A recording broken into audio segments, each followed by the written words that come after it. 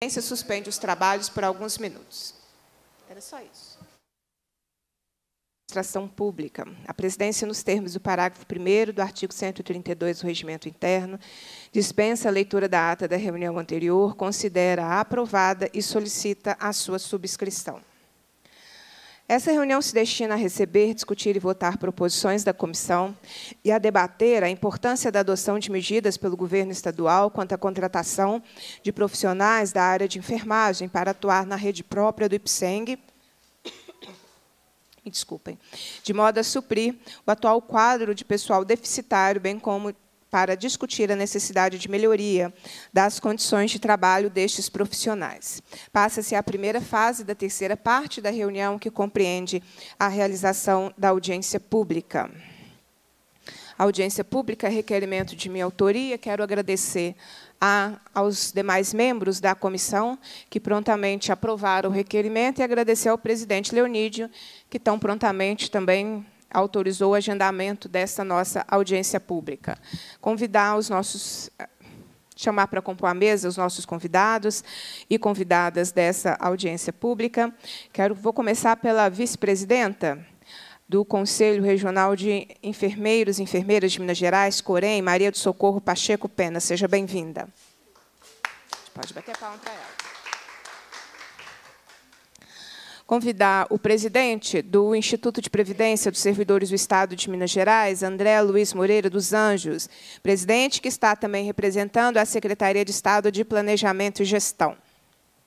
Bem-vindo, presidente. Deve ser a nossa quarta, quinta audiência. Convidar para compor a mesa conosco também a Antonieta presidenta do Sindicato dos Servidores do Instituto de Previdência dos Servidores do Estado de Minas Gerais, a Tieta. Falei Antonieta, ninguém nem reconheceu. Bem-vinda, Tieta.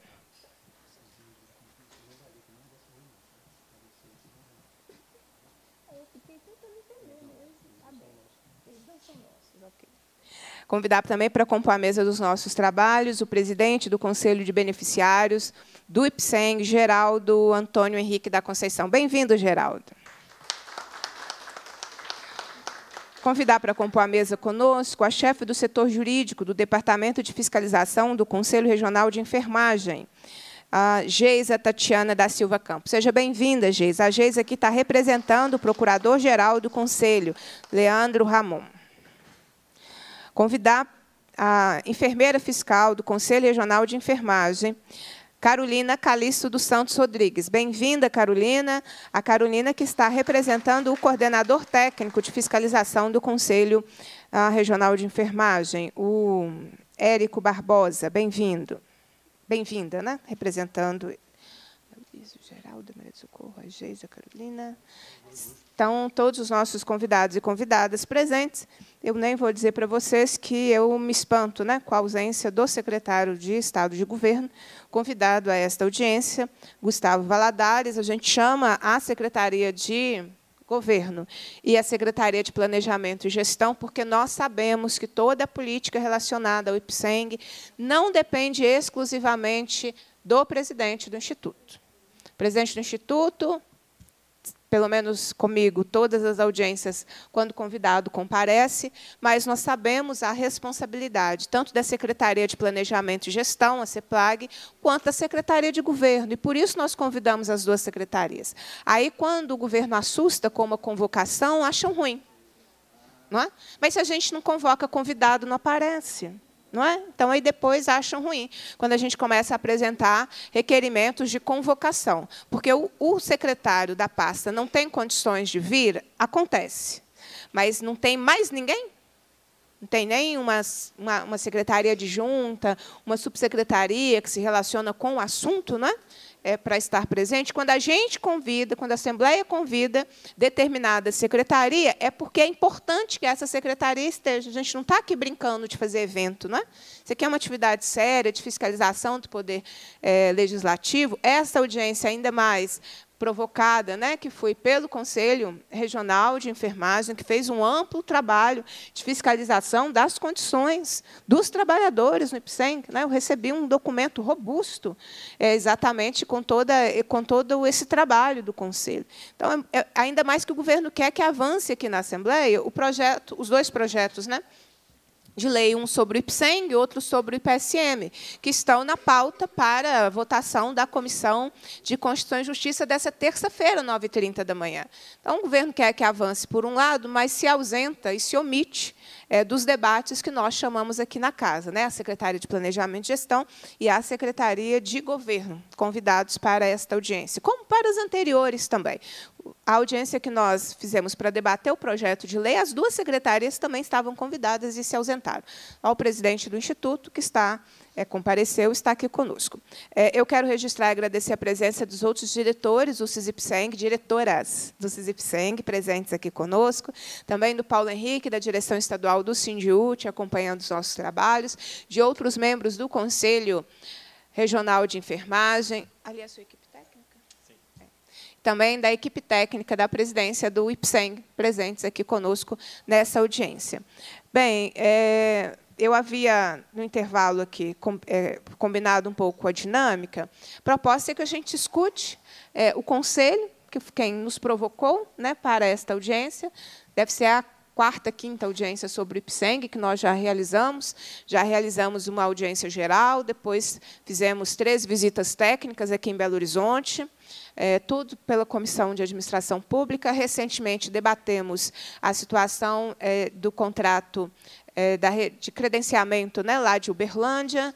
É, e agora, mais recentemente, também já fizemos uma audiência para debater o projeto de lei que está propondo mudanças profundas no IPSENG. Então, é uma, é, essa pauta do IPSENG é uma pauta que nós já trabalhamos aqui na Assembleia, com muito zelo, com muito respeito ao IPSENG e na luta por sua valorização. Então, a gente vai para mais uma jornada. Eu tenho certeza que essa audiência contribuirá para esse todo né, das ações que nós temos feito aqui na Assembleia, porque quando a gente discute a situação de um profissional do IPSENG, nós estamos discutindo o IPSENG. Né, e quando esse profissional tem precárias condições de trabalho, é, isso impacta em todo o Instituto. Né? Então, eu quero agradecer a confiança é, do Conselho, é, ao nos procurar e também agradecer né, por estarem aqui e apresentarem tudo que apresentaram. O Conselho de Beneficiários, eu acho fundamental essa parceria, então eu vou novamente agradecer né, ao próprio Geraldo pela presença, porque é a forma dos beneficiários atuarem. Né? Não dá para todos os beneficiários estarem aqui nas audiências, que, é uma audiência aberta, claro, é, mas as pessoas estão trabalhando, as pessoas estão dentro da sala de aula, as pessoas estão dentro dos seus locais de trabalho. Então, é uma forma importante da, do, do Conselho tá, estar sempre presente e de trazer né, sua percepção é, do ponto de vista do usuário daquilo que está sendo apresentado. E o CISIPSENG, porque não tem como você falar de, de IPSENG se você não falar dos seus servidores. Né? Então, acho que é uma outra parceria muito importante e muito necessária. Então, nós vamos começar com o Conselho. É, a nossa vice-presidenta do Conselho, então, vai trazer sua contribuição ao debate, Maria de Socorro.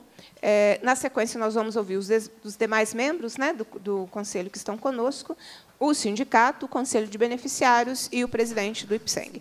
É claro, gente, que o nosso exercício sempre é pensar em encaminhamentos, né? o que pode ser feito a partir dessa escuta que a Comissão de Administração Pública está fazendo sobre a realidade que será apresentada aqui pelas, pelas nossas convidadas e pelos nossos convidados. Então, Maria do Socorro, obrigada pela presença, pela confiança e te passo a palavra para suas considerações.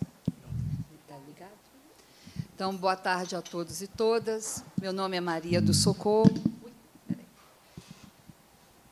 Meu nome é Maria do Socorro, sou a vice-presidente do Conselho Regional de Enfermagem de Minas Gerais, uma autarquia federal que tem como atividade finalística a fiscalização do exercício e da atividade legal da profissão de enfermeiros, técnicos e auxiliares, e, subsequentemente a isso, temos uma responsabilidade, não apenas com o exercício legal da profissão, mas com a segurança dos nossos profissionais e também com a qualidade do produto que esse profissional entrega para a sociedade.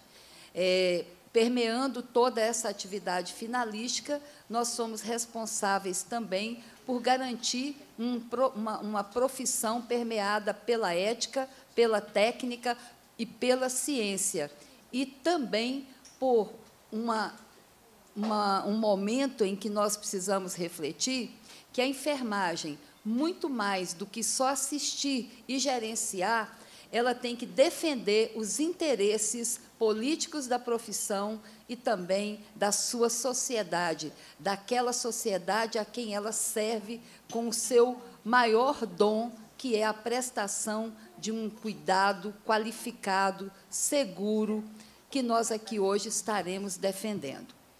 É, inicialmente, eu quero parabenizar e agradecer a deputada Beatriz Cerqueira por nos atender com presteza, com respeito e estar entregando aquele documento em suas mãos tem todo um histórico de ver a sua atividade plena, incansável, junto ao Instituto da Previdência. Né, ao, não só ao Hospital da Previdência, mas toda a estruturação de serviços aos beneficiários. Quero também cumprimentar aqui a minha colega enfermeira, é, a, é, representando a chefia da enfermagem, enquanto diretoria também, a enfermeira Ana Paula, você, nossa consideração, nosso respeito e nossa parceria. Quero também cumprimentar Els Vidal e Ivone Fernanda, que aqui representam o que há de mais precioso nessa audiência, que são os profissionais de enfermagem. Quero cumprimentar também, em nome de Antonieta, todos os sindicalistas aqui presentes, é, porque tem também um papel extremamente relevante nas lutas pelas pautas, não só dos servidores, mas também da própria estrutura que representa a relevância social dessa instituição. É, quero cumprimentar também, de modo especial, o senhor Geraldo, que representa aí os beneficiários. Ele está sentado aqui, cadê? Ali, do lado. E também cumprimentar com um carinho muito grande o presidente do IPSENG, doutor André dos Anjos, que está lá. Eu brinco com ele. Está ali, né? Quase como um boi de piranha no meio de todo esse processo, mas está lá, está firme, está buscando fazer essa intermediação entre os interesses do governo, os interesses dos profissionais e os interesses dos beneficiários e servidores. É, eu quero cumprimentar também, de modo especial, minha colega, doutora Geisa, doutora Carolina, e os meus colegas aqui presentes, doutora Tiziane, doutora Daniele, assessora do nosso presidente e deputado federal Bruno Farias, que nesse momento era para estar aqui conosco, mas ele foi convocado por Brasília, né? estão vivendo momentos difíceis agora, é, e antes de entrar no contexto prioritário, que hoje é o Hospital da Previdência, eu quero parabenizar o Executivo e o Legislativo de Minas Gerais por já estar se posicionando em apoio aos nossos irmãos do Sul, que vivem hoje um momento de calamidade, de um fenômeno natural incontrolável, mas que temos certeza que os 27, os 26 estados estão envolvidos né, em apoiar e nós também do sistema COFEM estamos unidos para apoiar a enfermagem do sul de Minas, do sul do Brasil. Bem, é, eu antes da minha fala eu gostaria de pedir à equipe técnica que liberasse um vídeo que eu mandei. Eu enviei aqui. O IPSENG está na mídia, mas as notícias não são nada boas. Falta de funcionários, denúncias sobre redução de leitos no hospital, demora no atendimento. E nesse cenário, uma enfermagem sobrecarregada, profissionais sem segurança, sem qualidade de trabalho em meio ao caos, justamente onde deveria haver tranquilidade para cuidar dos pacientes. A população não merece esse tratamento A enfermagem também não.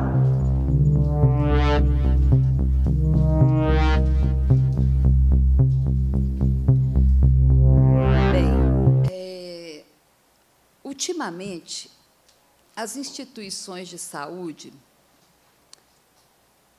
eu vou me deter aqui às públicas, é, têm conduzido um trabalho assistencial muito baseado naquela velha frase: antes isso do que não ter. E eu acho que, em se tratando de saúde, nós não podemos ter esse pensamento. Não, se não tiver isso, é é, a população vai sofrer. Não, a população é, um, num diálogo que eu, que eu tive até com o doutor André, a população prefere estar ali. Sim, a população, talvez por uma um certa comodidade, de localização, de afinidade, de é, costu, acostumar estar ali, tem os colegas que atendem, até preferem estar ali, na expectativa até de entrar além da porta de urgência dessa instituição. Mas a população, será que sabe os riscos que elas estão correndo? Porque, diante do cenário, principalmente do serviço de urgência do Hospital da Previdência, nós temos ali um risco grande, objetivo, claro, evidente, de que naquelas condições em que eu estive lá e vi, não é uma, uma, uma condição em que se assiste dignamente as pessoas. E também não é a condição digna de que se coloque profissionais para trabalhar, credenciados ou efetivos. E esse problema estrutural que hoje nós temos na porta de entrada do Hospital da Previdência ele se amplia na precarização do trabalho, na sobrecarga dos profissionais e num, num, dimensionamento extremamente inadequado com os pareceres normativos vigentes pelo sistema COFEM e também por portarias ministeriais, incluindo do Ministério da Saúde, da Vigilância Sanitária. Nós vimos ali uma imagem de um profissional de saúde atendendo um paciente debaixo de um vão de escada. Não é? Então, nós temos que ter consciência de que saúde não é desta forma que se trata. Nós temos que entender também que profissionais de enfermagem não foram feitos para trabalhar sob a lógica de que o amor é maior do que o profissionalismo. E a enfermagem, ela é muito tocada por aquilo que o paciente espera dela. E, e, e, e essa, esse envolvimento emocional da enfermagem, ele se transforma em objeto de adoecimento mental e osteomuscular. Então não há, não há nenhum parêntese que eu, enquanto representante do Conselho Regional de Enfermagem de Minas Gerais e representando aqui o nosso presidente, que eu possa dizer que há uma situação coerente com uma assistência de qualidade. Nós também podemos destacar que a estrutura física, ela não respeita a dignidade humana. Nós temos homens, mulheres, idosos amontoados num espaço cujo metro quadrado não respeita as normas de distanciamento, de segurança. Nós temos mulheres e homens colocados lado a lado, o que, deputada, ultraja qualquer dignidade. Por mais que a enfermagem tenha os devidos cuidados, Há, existem momentos de consulta de determinados processos terapêuticos assistenciais que coloca a individualidade, a intimidade, seja ela física ou do diálogo verbal. Nós temos um CTI dentro de um pronto atendimento. Nós não podemos compensar a falta de leitos interna dentro do pronto atendimento. Nós temos enfermarias dentro do pronto atendimento. Então, eu estou pontuando que nós temos um pequeno hospital na porta de entrada da Previdência. Ali é um pequeno hospital, cujo posto de enfermagem fere qualquer norma de segurança, porque enquanto eu tenho um profissional ali preparando a medicação, eu tenho um outro grupo ali gritando, conversando alto. E eu, o dia que eu estive lá, tinha uma profissional de outra categoria, não enfermeiro, que falava alto o tempo inteiro. E a nossa colega lá preparando o medicamento.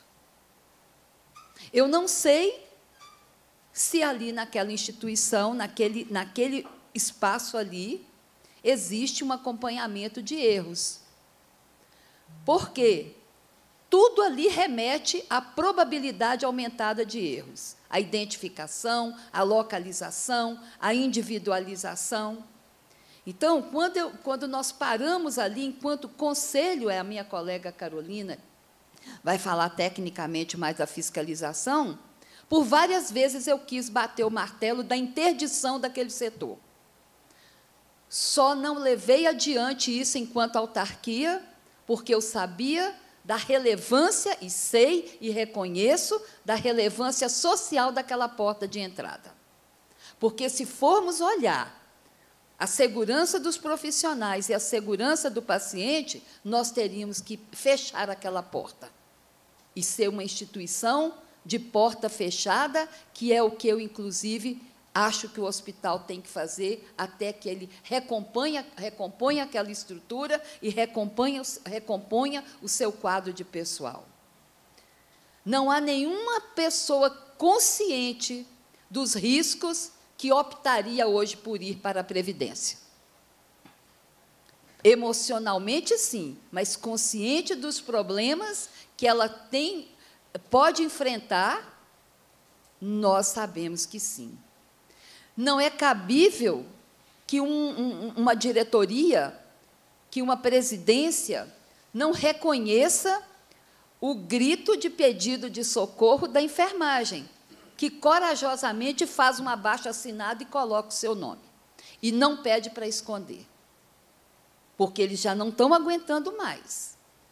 Então, nós temos que pensar toda essa questão de erro. Vamos, para eu caminhar para a minha finaliza, finalização da minha fala, porque outras terão maior peso, como que uma estrutura daquela, que tem um custo alto, não atende bem o seu paciente e mantém leitos fechados, se eu não me engano, 120 leitos uma estrutura maravilhosa, melhor do que muitos hospitais da rede privada. Mas está lá. Um dia abre aqui, outro dia fecha ali. Ó, o chamamento dos concursados não foi nem de longe, nem de, mas assim, quilômetros de distância compatível com a necessidade. Quando eu vi o chamamento, eu falei, poxa, mas que é isso? Ou chama para compor um quadro aqui, mas já descompôs ali. Por quê? O adoecimento, e nós não tivemos acesso a isso, os, os atestados médicos, a fala subliminar da enfermagem é de que não aguenta mais. E nós não podemos, doutora Beatriz, deputada Beatriz, entregar para a sociedade um aposentado que não vai ter direito de é, celebrar sua aposentadoria. Do jeito que a Previdência vai com a sua enfermagem, vão entregar aposentados adoecidos e que não terão dinheiro nem para comprar o remédio. Lembrando que o plano de saúde deles hoje corre grande risco. Lembrando que, se, se eu estiver desatualizada, a doutora André vai poder chamar minha atenção, que ainda não conquistaram efetivamente o piso salarial deles. Porque nós sabemos que lá em Brasília tem um problema com a Previdência. E que, se isso não for resolvido, doutor, deputada Beatriz, o Estado vai ter que arcar com o pagamento do piso para efetivos, credenciados ou outra forma de contrato que ali tiver. Eu acompanho o IPSENG online, vejo uma tentativa de mostrar, de motivar. Ali é um berço de profissionais que aprendem a trabalhar e vão embora. Exemplo, o nosso próprio secretário de saúde, que é cria daquela casa. Mas ninguém fica. Os bons são treinados pelos melhores, porque lá dentro tem uma equipe de enfermagem competente, histórica, que treina pessoas com os, através do dinheiro público para muitas vezes ir trabalhar na rede privada. E ali não é um hospital escola, ali é um hospital assistencial. Então, eu quero aqui dizer que quando nós olhamos aquela estrutura, porque a minha mãe foi atendida lá, fez a cirurgia de catarata dela lá. Então, eu sei o que, que é, eu já percorri aquela instituição, destacando. Poucos hospitais têm uma estrutura de CTI igual ao Hospital da Previdência. Então, o que o Estado quer para aquela instituição? Deixo para a doutora André. Porque a, o Corém sabe o que, que ela quer para a enfermagem. Ou a Previdência resolve o problema da enfermagem, ou nós vamos entrar com os poderes da autarquia. E os poderes da autarquia não poderão ser ultrajados, porque nós vamos usar o poder da nossa Lei 14.498 e o seu decreto complementar. Porque muitas vezes, quando a gente usa o parecer normativo, as, esper as espertezas do governo vêm e falam, não é lei, então eu não cumpro. Então, nós já estamos muito escaldados desse tipo de conversa. E vai ficar muito feio se nós formos para a mídia dizer que o pronto atendimento do Hospital da, da Previdência hoje precisaria ser interditado para ser reorganizado. Então, eu quero aqui agradecer a confiança também desta casa, desse espaço legislativo, dizer que nós nos colocaremos à disposição não para combater o Hospital da Previdência, mas para ajudar a reerguê-lo. Mas para reerguer esse hospital, nós não admitiremos que a enfermagem seja colocada como a base que vai sustentar uma assistência que não está agradando ao governo de Minas pelo custo e pelos problemas dos valores do plano de saúde. Então, resolvam o problema técnico e administrativo, porque a enfermagem tem tem quem vai resolver o problema dela, o Corém de Minas Gerais. Muito obrigado. Nós que agradecemos, Maria do Socorro. Na sequência, na sequência, eu quero passar para a Geisa Tatiana, que é chefe do setor jurídico do Departamento de Fiscalização do Conselho Regional de Enfermagem. É, boa tarde. É, boa tarde. Eu gostaria de cumprimentar todos os presentes é, não, não, vou repetir todos os nomes. É, eu recebi pela fiscalização um trabalho muito sério, muito grandioso do que é a realidade do Hospital do Ipseng. E diante do que a gente é, vislumbrou, nós compilamos. O Ipseng está na. É realmente robusto que foi entregue à senhora deputada é, com muita esperança, com muita expectativa. É, eu posso dizer assim, eu recebi as informações com perplexidade. Diante do que eu vi, eu tive muito medo, não só pelos pacientes, mas principalmente pelos profissionais, porque nós somos o conselho que tem que zelar pelo bom nome e pela profissão do enfermeiro. Essas pessoas estão trabalhando de um modo precário, que elas estão expostas a erros, a perder o direito de exercer uma profissão em razão de uma sobrecarga porque as condições em que elas estão sendo submetidas são desumanas. E com muita vontade de buscar soluções. soluções administrativas, soluções pacíficas, soluções amigáveis. É, na data de 26 de fevereiro, nós estivemos com o doutor André, que é o presidente do IPSENG, deixamos para ele um ofício, pedimos solução, nos colocamos mais uma vez à disposição para construir juntos, para buscar soluções juntas, para ver se a gente consegue um plano de ação que seja minimamente efetivo para a segurança não só dos pacientes, mas principalmente dos profissionais. Porque aqui a gente fala de profissional exposto a processo ético, de profissional exposto a erro, de profissional exposto a, por erro, é, ter um resultado óbito, não por vontade dele, mas por falta de condições de trabalho. E essas condições de trabalho estão sendo cerceadas, estão sendo negadas. Isso está documentado. Os profissionais da saúde do IPSEM pedem socorro, eles gritam por socorro. A porta no IPSEM uma quantidade enorme de denúncias. A gente tem denúncias do como é sobrecarga, é falta de dimensionamento, é desrespeitoso trabalho praticamente todos os dias. Praticamente todos os dias a gente tem denúncias.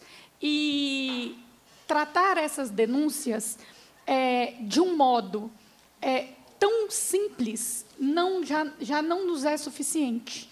Nós já chegamos no nosso limite. A gente tem aqui sindicatos, representantes dos servidores, eles sabem do que eu estou falando com muito mais propriedade, inclusive, do que eu.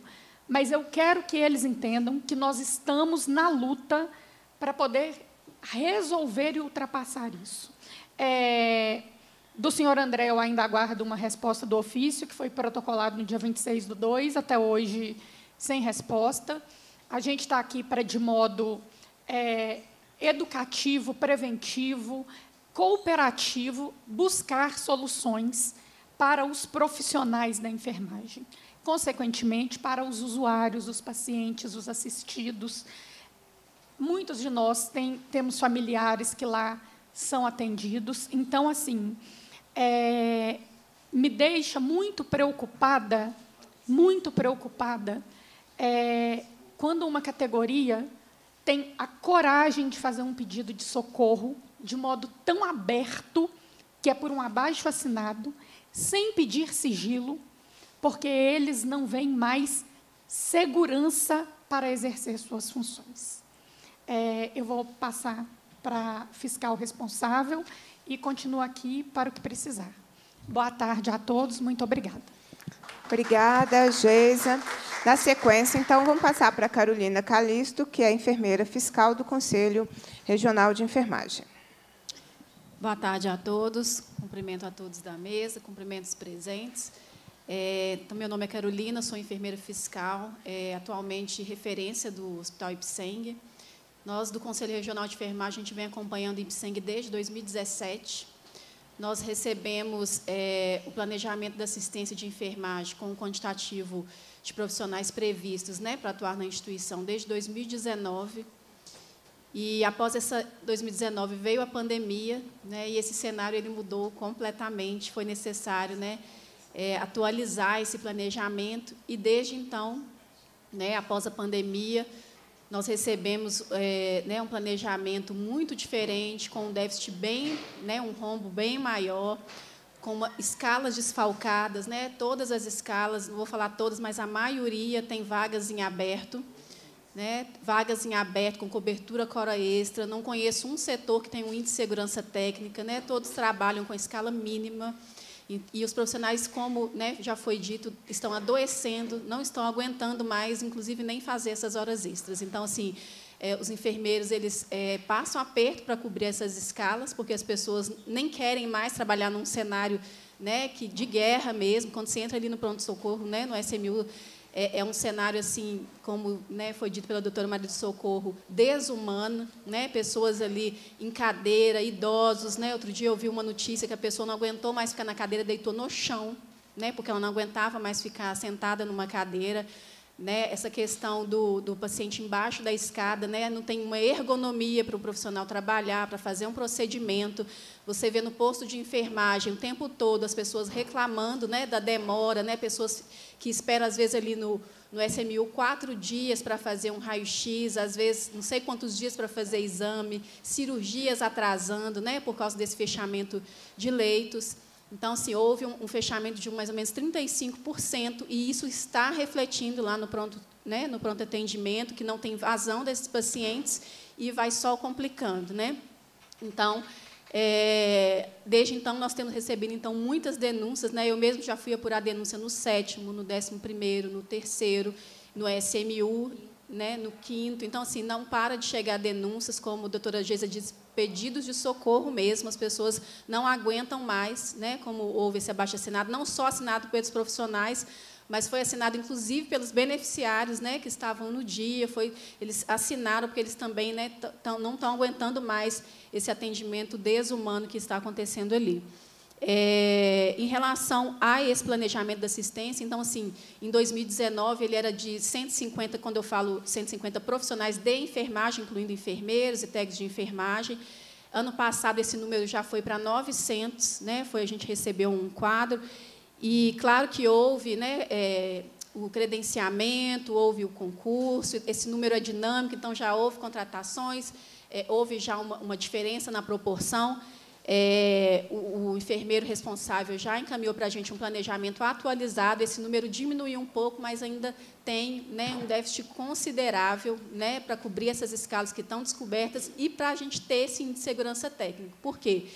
Quando os profissionais trabalham sem esse índice de segurança técnico, sobrecarregados, eles estão expostos a, a erros. Né? Então, é, na literatura, a gente vê que quando o profissional está sobrecarregado, né, não tem essa, essa segurança para trabalhar, né, a gente vai ter ali risco de queda, aumento da taxa de infecção hospitalar, a gente tem risco de estubação, nós temos né, aumento das úlceras por pressão, então nós temos muito prejuízo da qualidade da assistência.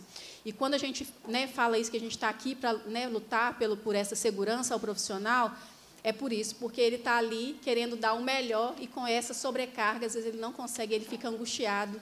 E quando eu andei lá pelos corredores do hospital, todos os setores, porque eu passei, eles falavam assim, ainda bem que você está aqui, ainda bem que você está aqui. Né?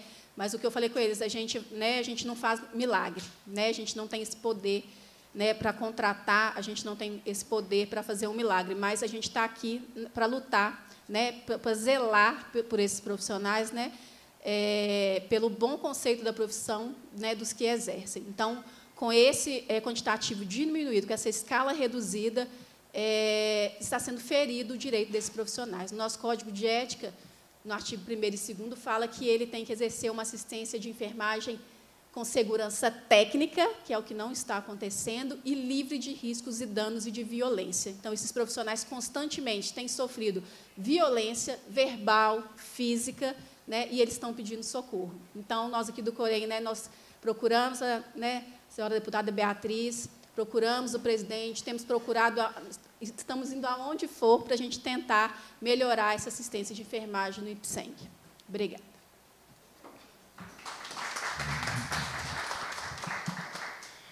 Nós vamos ouvir agora é, o CISIPSENG, Sindicato de Servidores, o IPSENG, através da Tieta, que está aqui conosco. Bem-vinda. Boa tarde a todos.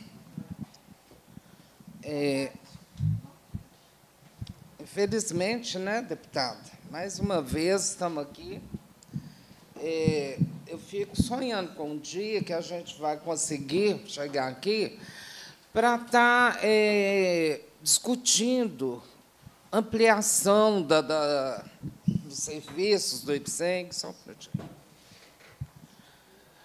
é, discutindo nosso novo plano de carreira, né? porque está lá parado, né? profissionais é, com essa gama de que não é novidade para ninguém. Aqui nós temos colegas da enfermagem do IPSENX fazendo representar ali. E a gente sabe, eles são ali companheiros de luta, de rua. E agora há pouco, eles estavam perguntando sobre a paralisação do funcionalismo no dia 8. Foi parar como? Nós não temos contingente para parar. É, se a gente for fazer a escala mínima, nós vamos ter que buscar quem está em casa para cobrir a escala mínima. A gente já trabalha com um número abaixo, abaixo da escala mínima. Então, por isso, é, é, eu fico muito triste, envergonhada. Não temos culpa do IPSEG estar dessa forma. A nossa parte a gente faz e há muitos anos. Você tem acompanhado a luta dos servidores nessa casa. A gente enche galerias, a gente vai para a rua, a gente tem feito as cobranças, tem trago aqui é, as reivindicações, né? E a gente gostaria muito de estar aqui discutindo um projeto de lei de valorização desses servidores e não expondo e, dessa forma, né? Triste a instituição centenário, que há tanto já cuidou. Quem está hoje lá, não só da enfermagem, a enfermagem está pedindo socorro através desse um dos vários abaixo assinados, porque nós já encaminhamos montes, né? não, é, não é o primeiro. E há muitos anos, há muitos anos. E não é só enfermagem, é o IPSEM como um todo, são todos os profissionais. Todos nós, profissionais da instituição, estamos pedindo socorro. Agora há pouco, a repórter me perguntou qual era a estimativa de, de servidores necessários da enfermagem. É, já fomos quase 6 mil profissionais. Hoje, pouco mais, em torno de 2 mil e pouco. Então, aí está a resposta. Está insuficiente mesmo.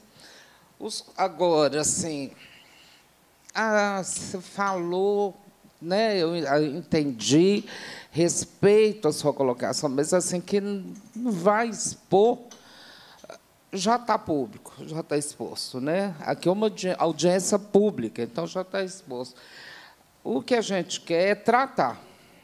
É, e aí eu vou só discordar, mas de uma fala e da nossa vice-presidente do Corém. Eu não acho que um paciente doente ele tem que ser morto, ele tem que ser tratado. Fechar o, o, a entrada do, do IPSENG, o SMU, não é solução. Eu não acho que o IPSENG pode fechar a sua entrada de emergência, não. Ele tem que ser tratado, ele tem que ser corrigido, ele tem que ser ampliado, ele tem que ter profissionais suficientes, sabe?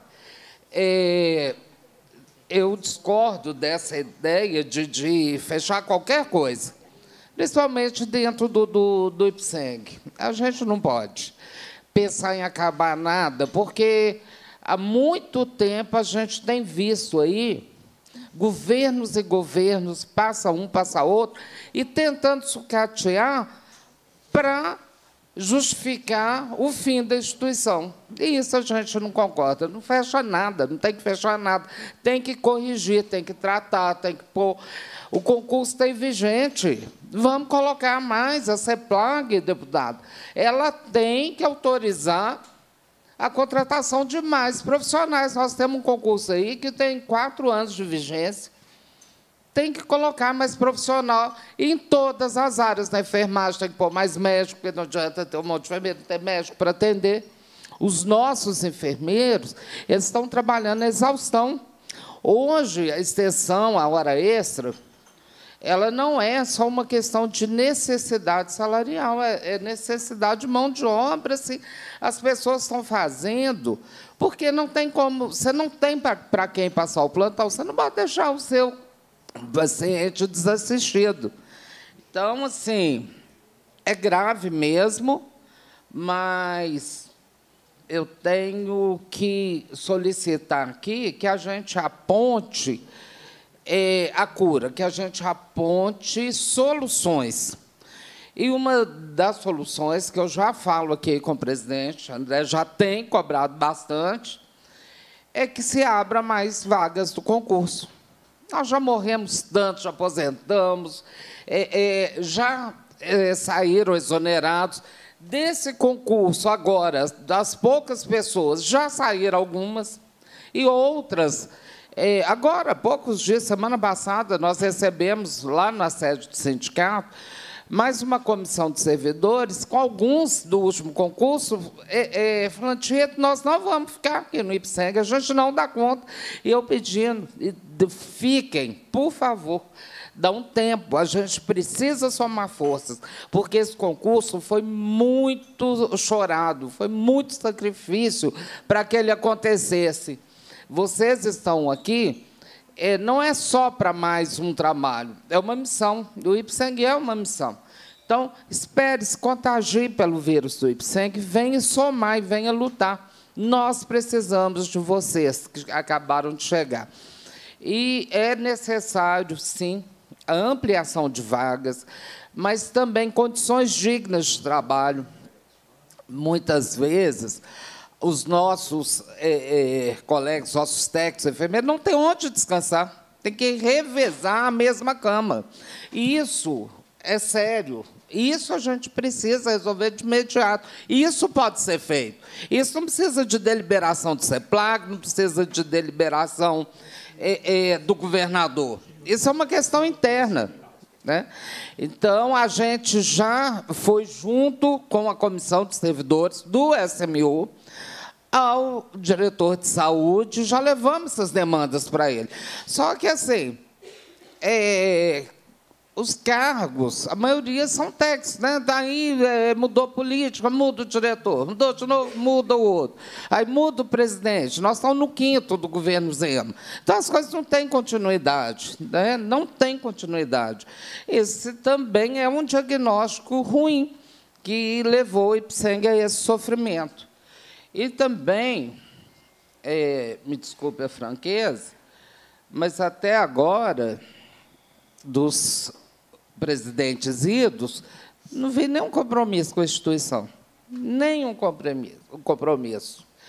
Vieram, é, é, fizeram lá o seu palanque político e foram embora. Sem, assim, sem a menor é, é compromisso, sem a, sem a menor vergonha. Era uma questão de palanque político mesmo. Então, é, doutor André, está aí na sua missão, também não acredito que ele seja um boi de piranha, acho que ele está lá porque ele quer, porque ele sabe muito bem, já esteve no Ipseng antes, conhece a casa e sabe dos desafios. E o que a gente quer é solução, e rápida, para a nossa enfermagem, mas para o corpo de trabalhadores do Ipseng também como um todo. É isso.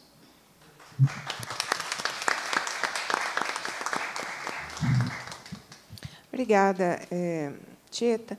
A gente está com umas duas inscrições. Eu vou sugerir ouvi-las, é, porque eu acho que é o momento da gente é, ouvir né, e, na sequência, ver a, as respostas do próprio IPSENG. Mas eu quero reforçar, a Badia trouxe demandas relacionadas... A Badia não, a Badia eu vou chamar para falar agora. Tieta trouxe questões importantes sobre é, o concurso, por isso a gente convida a CEPLAG. Porque quem vai responder sobre cronograma de nomeações, eventualmente, né, novos concursos, é a CEPLAG. E a ausência da CEPLAG ela é ruim para o debate. Né? Eu estou recordando isso porque nós convidamos a Secretaria de Planejamento e Gestão, que se ausentou. E aí, é, é, tanto a CEPLAG se ausenta, como a Secretaria de Governo também se ausentou, e aí jogam toda a representação para o presidente do, do, Instituto, que está conosco. Mas o presidente do Instituto tem a sua função institucional, a CEPLAG tem a sua, e a Secretaria de Governo tem a sua. Não é? É, então, Badia, que eu queria chamá-la, que você está inscrita, para a Badia, que é da direção do CISIPSENG. Depois o senhor é Elzo, que é lá do, da enfermagem do, do hospital. Aí eu vou passar na sequência a palavra para o senhor, tá bem? Badia, você me dá só uma, um, um minutinho? Sim, com certeza. É, Beatriz, só um minutinho. Eu pedi um, um é porque eu queria ter começado, esse, Ivone, as meninas ali, é, parabenizando pelo início da Semana da Enfermagem hoje. Não era o que a gente queria estar. Por isso, muitos estão lá no IPSENC. né, não, não, não puderam vir, tem lá algumas. É, e eu acho que a gente tem a comemorar, sim. Né? A gente está aqui lutando pela nossa categoria, pelo nosso instituto. Viu? Então, é, leve esse carinho, esse parabéns para a nossa Muito bem lembrado, Tita. Eu cumprimentar né, aos nossos aos colegas lá, principalmente a enfermagem, que começando a, a semana da enfermagem. Mas o que eu quero dizer é o seguinte: essa situação do, do que está até agora colocada aqui, não começou hoje, não é de hoje. Se hoje está do jeito que está, já vem há muitos anos. Principalmente, nós estamos falando da enfermagem, eu falo de todos os servidores, de todos os servidores a situação está péssima para todos. Reduziu muito o número de servidores da enfermagem e do restante dos servidores do IPSENG, porque a enfermagem também não trabalha sozinha. Porque para a enfermagem trabalhar também precisa dos administrativos. Eles não, não fazem, não estou aqui desmerecendo nada disso. Para mim são todos servidores e nós precisamos de todos. Então, reduziu demais o quadro. Não foi ontem, não foi 2019. Já vem há muitos anos essa redução e não tem concurso para repor. Esse concurso agora, um número reduzido de servidores que foram chamados. Então, nós precisamos da resposta é quantos servidores a mais vão ser chamados para é, cobrir assim, um mínimo, nem vai cobrir o número que precisa. Outra questão, e a reforma da ala B lá, que dia que vai sair isso? Que dia que vai ficar pronto? Quando vão abrir os leitos? Quando? Quando serão contratados é, contratado mais servidores? Contratado através de concurso público. Nada contra os companheiros contratados, mas para eles é péssimo. E lá o hospital realmente não é escola, não. Para entrar a, a pessoa lá, fica alguns meses, o funcionário tem que ensinar para o outro, acompanhar o outro e cuidar do paciente. Então, a nossa enfermagem está sobrecarregada. Inclusive, eu falo com alguns companheiros assim, oh, mas isso não é obrigação sua de ficar ensinando para o outro, não. Aqui não é escola, não é obrigação deles. Então, assim, a gente cobra, cobre, né, cobra do, do governo, né, através aqui do nosso presidente, aumento dos servidores do IPSENC, chamar mais servidores no concurso, a reforma né, da, da, da ala B, abertura de, de, novos leitos, porque o SMU está cheio, lotado, os, os servidores, os enfermeiros sem local de trabalhar, por quê? Os leitos estão fechados. Porque o SMU não é lugar de ficar paciente. O SMU, o paciente é atendido, é emergência, não é para o paciente ficar lá. Então, virou um mini hospital porque não tem leito. Então, se não abrir os leitos, não tem condições, o servidor fica trabalhando naquela condição. Então, essas respostas precisam ser dadas. E não foi coisa que aconteceu hoje, não, já vem há muitos anos. Nós, é, os servidores do IPSENG já vêm pedindo socorro, os da enfermagem, todos os outros, há muitos anos pedindo, pedindo socorro para resolver essa situação do IPSENG.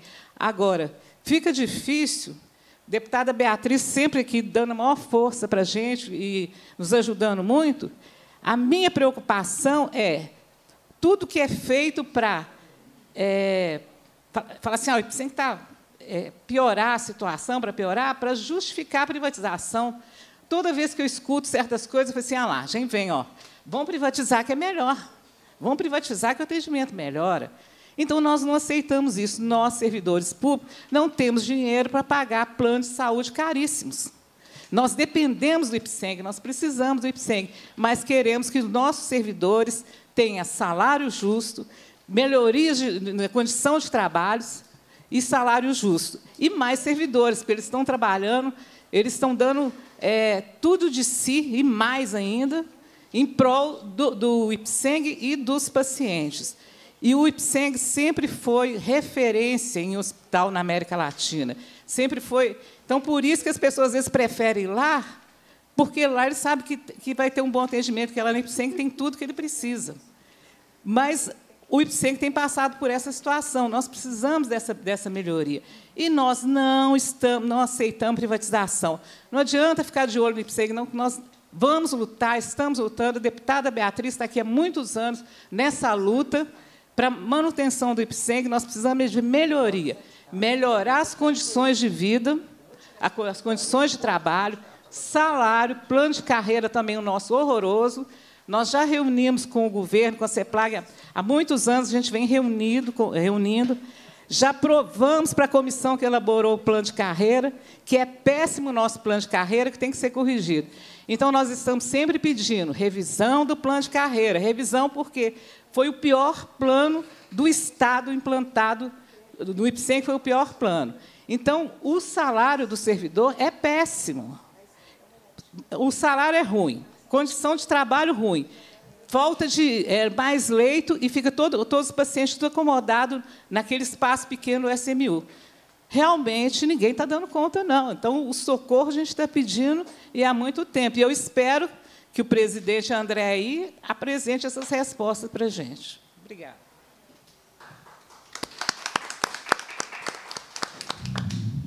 Obrigada, Bati. Vamos ouvir agora o, o Elzo. Falei certo, Elzo, seu nome? Elzo Vital, que é da enfermagem é, lá do Hospital do Ipsenc. Isso?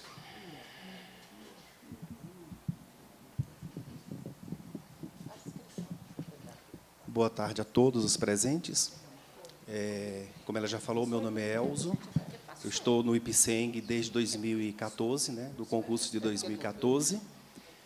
É, eu sou técnico em enfermagem no SMU e sou também formado em gestão pública. E eu não vou ficar repetindo muita coisa, porque todo mundo já falou é, meio que as mesmas necessidades. Né?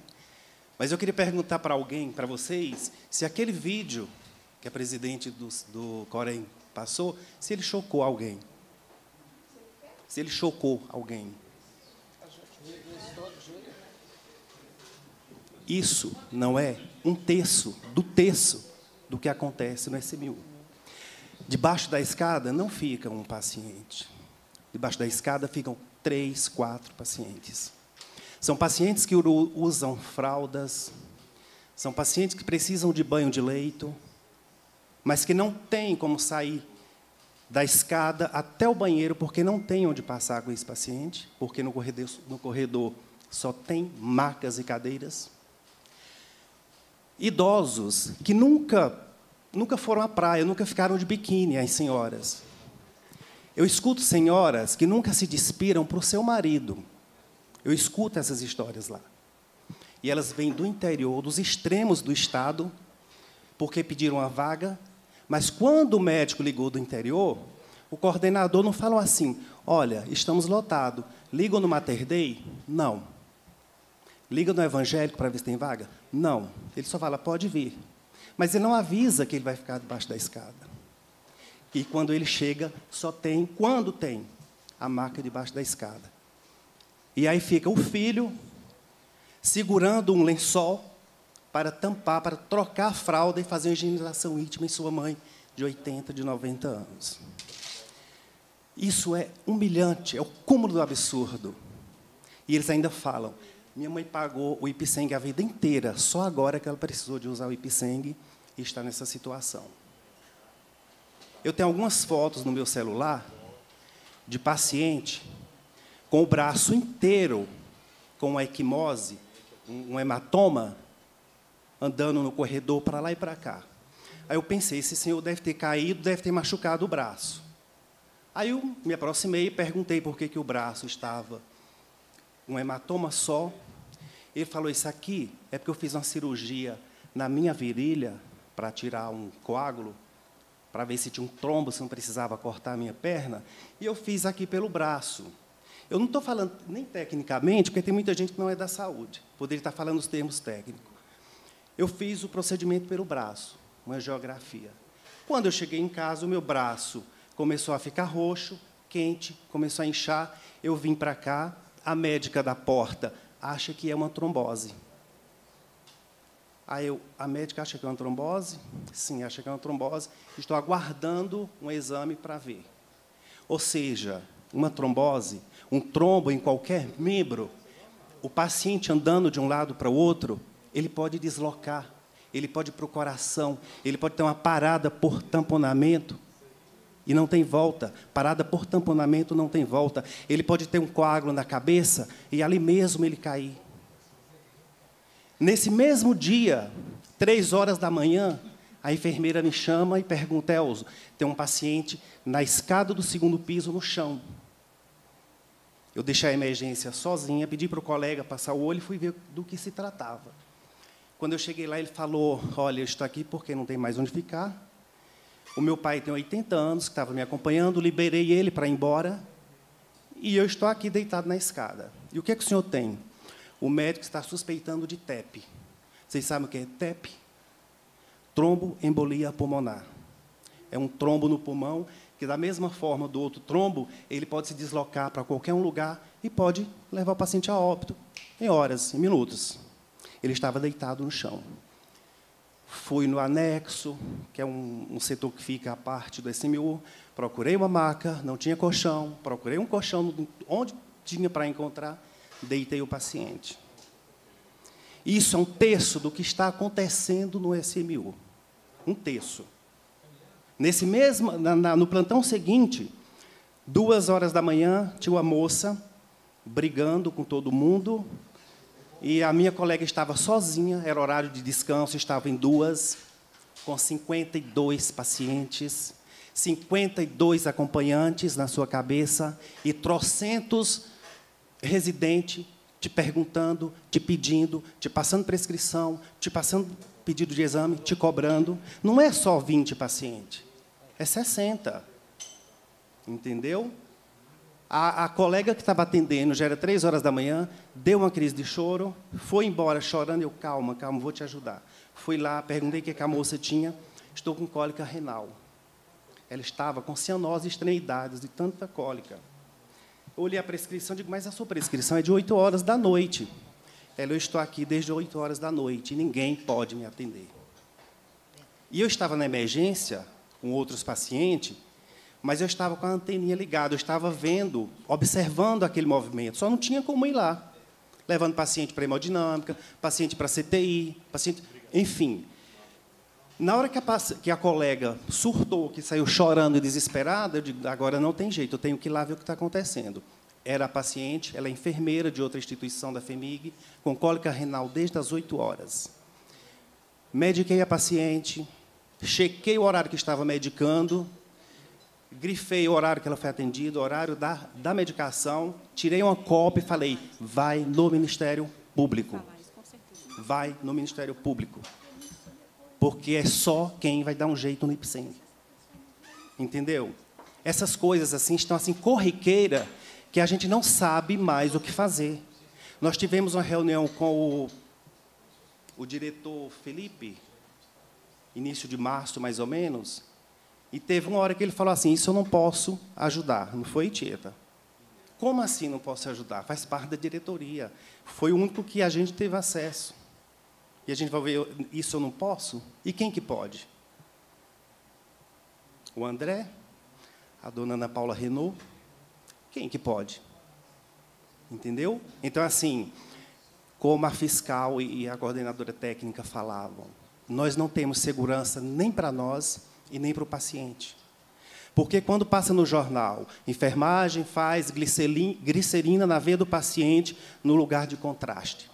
Ninguém fala, o setor estava bagunçado, a equipe estava diminuída, é, diretoria não existe. Ninguém fala isso. Só foca a enfermagem. Quando fala assim, foi feito café com leite na parenteral do paciente, o que deveria ser dieta, parenteral foi feito café com leite na veia. Isso foi aqui em Belo Horizonte, em hospital particular. Imagina o nosso, que ainda vou chegar lá. Então, quando essas coisas saem da mídia, ninguém fala por que, que aconteceu, só fala que aconteceu. E aí, os outros vão dizer assim: olha, mas isso aconteceu com o Els, ele tem 28 anos de enfermagem. Como que ele me deixa acontecer isso? Essa é, esse é o questionamento quando isso acontece. Né? Então, assim, espero que o sindicato, os diretores que estão aqui, que o Corém, que possam fazer alguma coisa, porque lá está assim. Nós somos os trabalhadores da última hora. Não é da última hora porque vão morrer, não. É da última hora porque nós somos os trabalhadores que ninguém está pensando nele agora. Eu estou no trabalho, eu senti uma dor, corro para o hospital para ser salvo. Chego lá, eu tomo um antibiótico do outro que tem o mesmo nome. José Eustáquio toma antibiótico de Eustáquio Francisco, Eustáquio José, não é só uma nem duas vezes. Não é só uma nem duas vezes. Eu saí do meu setor para ir ajudar no outro setor e eu falei com a supervisora: olha, tem três pessoas. Uma vai olhar os dados dos que tiver medicação para hipertensão, porque não tem como olhar de todo mundo. A outra vai separar a medicação. Eu vou dar uma olhada nos acessos, para, na hora de fazer a medicação, adiantar. Tinha acesso de oito dias de Santa Maria do Suaçuí.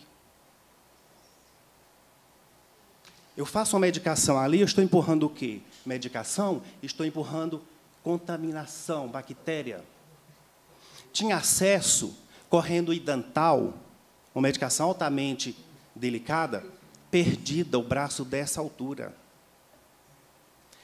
Mais na frente, um senhor me chama e fala: enfermeiro, a minha mãe está aqui nessa cadeira desde meio-dia e ela é suspeita de AVC. Aí eu pensei: ah, deve ser tem como. De AVC, o médico já tinha mandado para emergência. Aí, qual que é o nome da sua mãe? Vou no prontuário, o, o Sidney, o diagnóstico está lá. AVC interrogado. De meio-dia. As medicações que eram para ser feitas para diminuir aquele AVC, tinha 12 horas de atraso apenas. Eu mesmo fui no médico, no neuro, e falei, doutor, essa paciente está perdida, esquecida debaixo da escada, com essa medicação, com essa hipótese de diagnóstico. O que é que você me fala? Nossa, não estou sabendo dessa, dessa paciente. Não está no meu sistema. Eu digo, pelo amor de Deus, prescreve de novo, porque a farmácia não vai me liberar uma medicação com 12 horas de atraso, prescreve de novo para eu medicar essa paciente. Essa paciente foi medicada e foi direto para a emergência. 12 horas é vida, uma hora é vida. Uma hora é vida. O SMU é um pronto atendimento de emergência, o que virou um açougue, me desculpem a expressão, a gente usa muito isso no interior. E não tem cabimento, não tem cabimento. É uma coisa assim, o, o paciente que faz uma, uma cirurgia e ele chega lá depois, porque ele teve complicações, e ele está sentado numa escadinha. Aquela escadinha que serve para o outro subir na maca é onde ele está sentado. Eu pergunto, me desculpe, doutor André e doutora sou, é, Ana Paula, nesses dias eu nunca vi vocês passando por lá. Nunca. Me desculpem. No dia que eu estou em casa de folga, alguém me diz, Els, a diretoria está aqui no SMU. Como é que está? Está tranquilo, está vazio. Mas quando está esse caos, ninguém passa por lá. Ninguém. Isso é apenas algumas coisas que eu estou lembrando. Tem outras coisas que são bem mais graves. Eu precisaria de dados e nomes aqui agora. Não vou. É, então, assim, a gente pede que isso seja levado à frente. Porque os, os concursados que estão lá, segurando o SMU, segurando, a gente que segura aquilo ali. Eu sou técnico, a minha formação superior não é enfermagem, é outra coisa, mas chegam lá os contratados, um contrato que não paga férias, que não paga décimo terceiro, que não paga passagem, que não paga comida. Contrato escravo. Ele saiu. Exato. Então eles saíram da faculdade ontem, eles não têm experiência nenhuma. É o que tem para agora. Eu vou pegar porque eu pego experiência. Eu que sou técnico, que treino o que veio da faculdade de nível superior. Os procedimentos que ele faz, alguns mais invasivos, eu não posso fazer como técnico, mas eu posso ensinar ele. Entendeu? Eu posso ensinar ele, sou eu que ensino a ele. E esses dias eu vi dois casos assim absurdos, absurdos. O colega estava passando uma sonda vesical de demora para ajudar na diurese do paciente, um paciente de, de quase 80 anos, e eu vi, ouvi o paciente gritando, gritando muito. Eu pensei, vou lá oferecer ajuda. Quando eu puxei a cortina para oferecer ajuda, ele já tinha terminado o procedimento. Eu pensei, esse procedimento não está correto, porque incomoda, mas não é isso tudo. Ok. Seria antiético perguntar como é que ele fez ou querer saber se estava tudo correto, uma vez que não é minha função, não estou ali para isso. Do, dobrei de plantão, estava de plantão à noite. O paciente continuava urrando em dores. A médica plantonista chamou o cirurgião. O cirurgião pediu para o enfermeiro dar uma olhada na sonda. O enfermeiro foi olhar a sonda. A sonda estava na uretra do paciente. Então você imagine a uretra de um homem que seja tal menos que uma caneta Bic, muito menos, ela é insuflada um balonete com 30 ml de ABD, de água destilada. 30 ml. Vocês imaginem a dor que esse paciente passa. E não é só a dor. A uretra foi estrangulada, a uro veio, não conseguiu passar mais a sonda, foi para uma cistostomia, que é cirúrgico, faz um orifício na bexiga, e esse paciente que não deveria voltar para casa com a sonda, ele vai com uma uretra estuprada, mais uma sonda para casa para tirar quando? Aumenta os dias de internação, os dias de antibiótico, podendo agravar para outras coisas. E isso não acontece só uma vez. E eu pergunto, quem que é esse funcionário? Quem que é esse profissional? É aquele que chega sem experiência? É aquele que tem trocentos pacientes para ele ainda olhar? Entendeu? Então, assim, é uma coisa absurda, absurda o que acontece no IPSENG. E aí, quando eu vi na, na entrevista do diretor falando que eles optam por ficar no IPSENG, eles não optam por ficar no IPSENG. Eles ficam no IPSENG porque nós pagamos milhões para os hospitais particulares nos atender e a gente acha, nossa, o Mater Dei vai estar nos atendendo. Não está nos atendendo. O Mater Dei pega o que é cirurgias grandes, rápidas e valiosas. Ele não pega idoso, porque eu trabalho na emergência e vejo todos os dias. O idoso chega lá e fala: Estou vindo do Mater Dei porque eu fiquei lá dois dias e me liberaram. Faz os exames básicos e manda o paciente para casa. O paciente agrava em casa e vai o Ipseng. Quando o Life Center estava atendendo, a mesma coisa.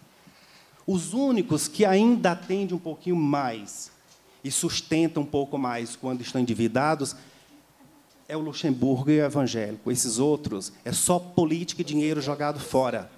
E quando os pacientes falam eu quero ficar aqui, é porque eles já sabem, além de ser contramão, por que, que só atende no de Betinho?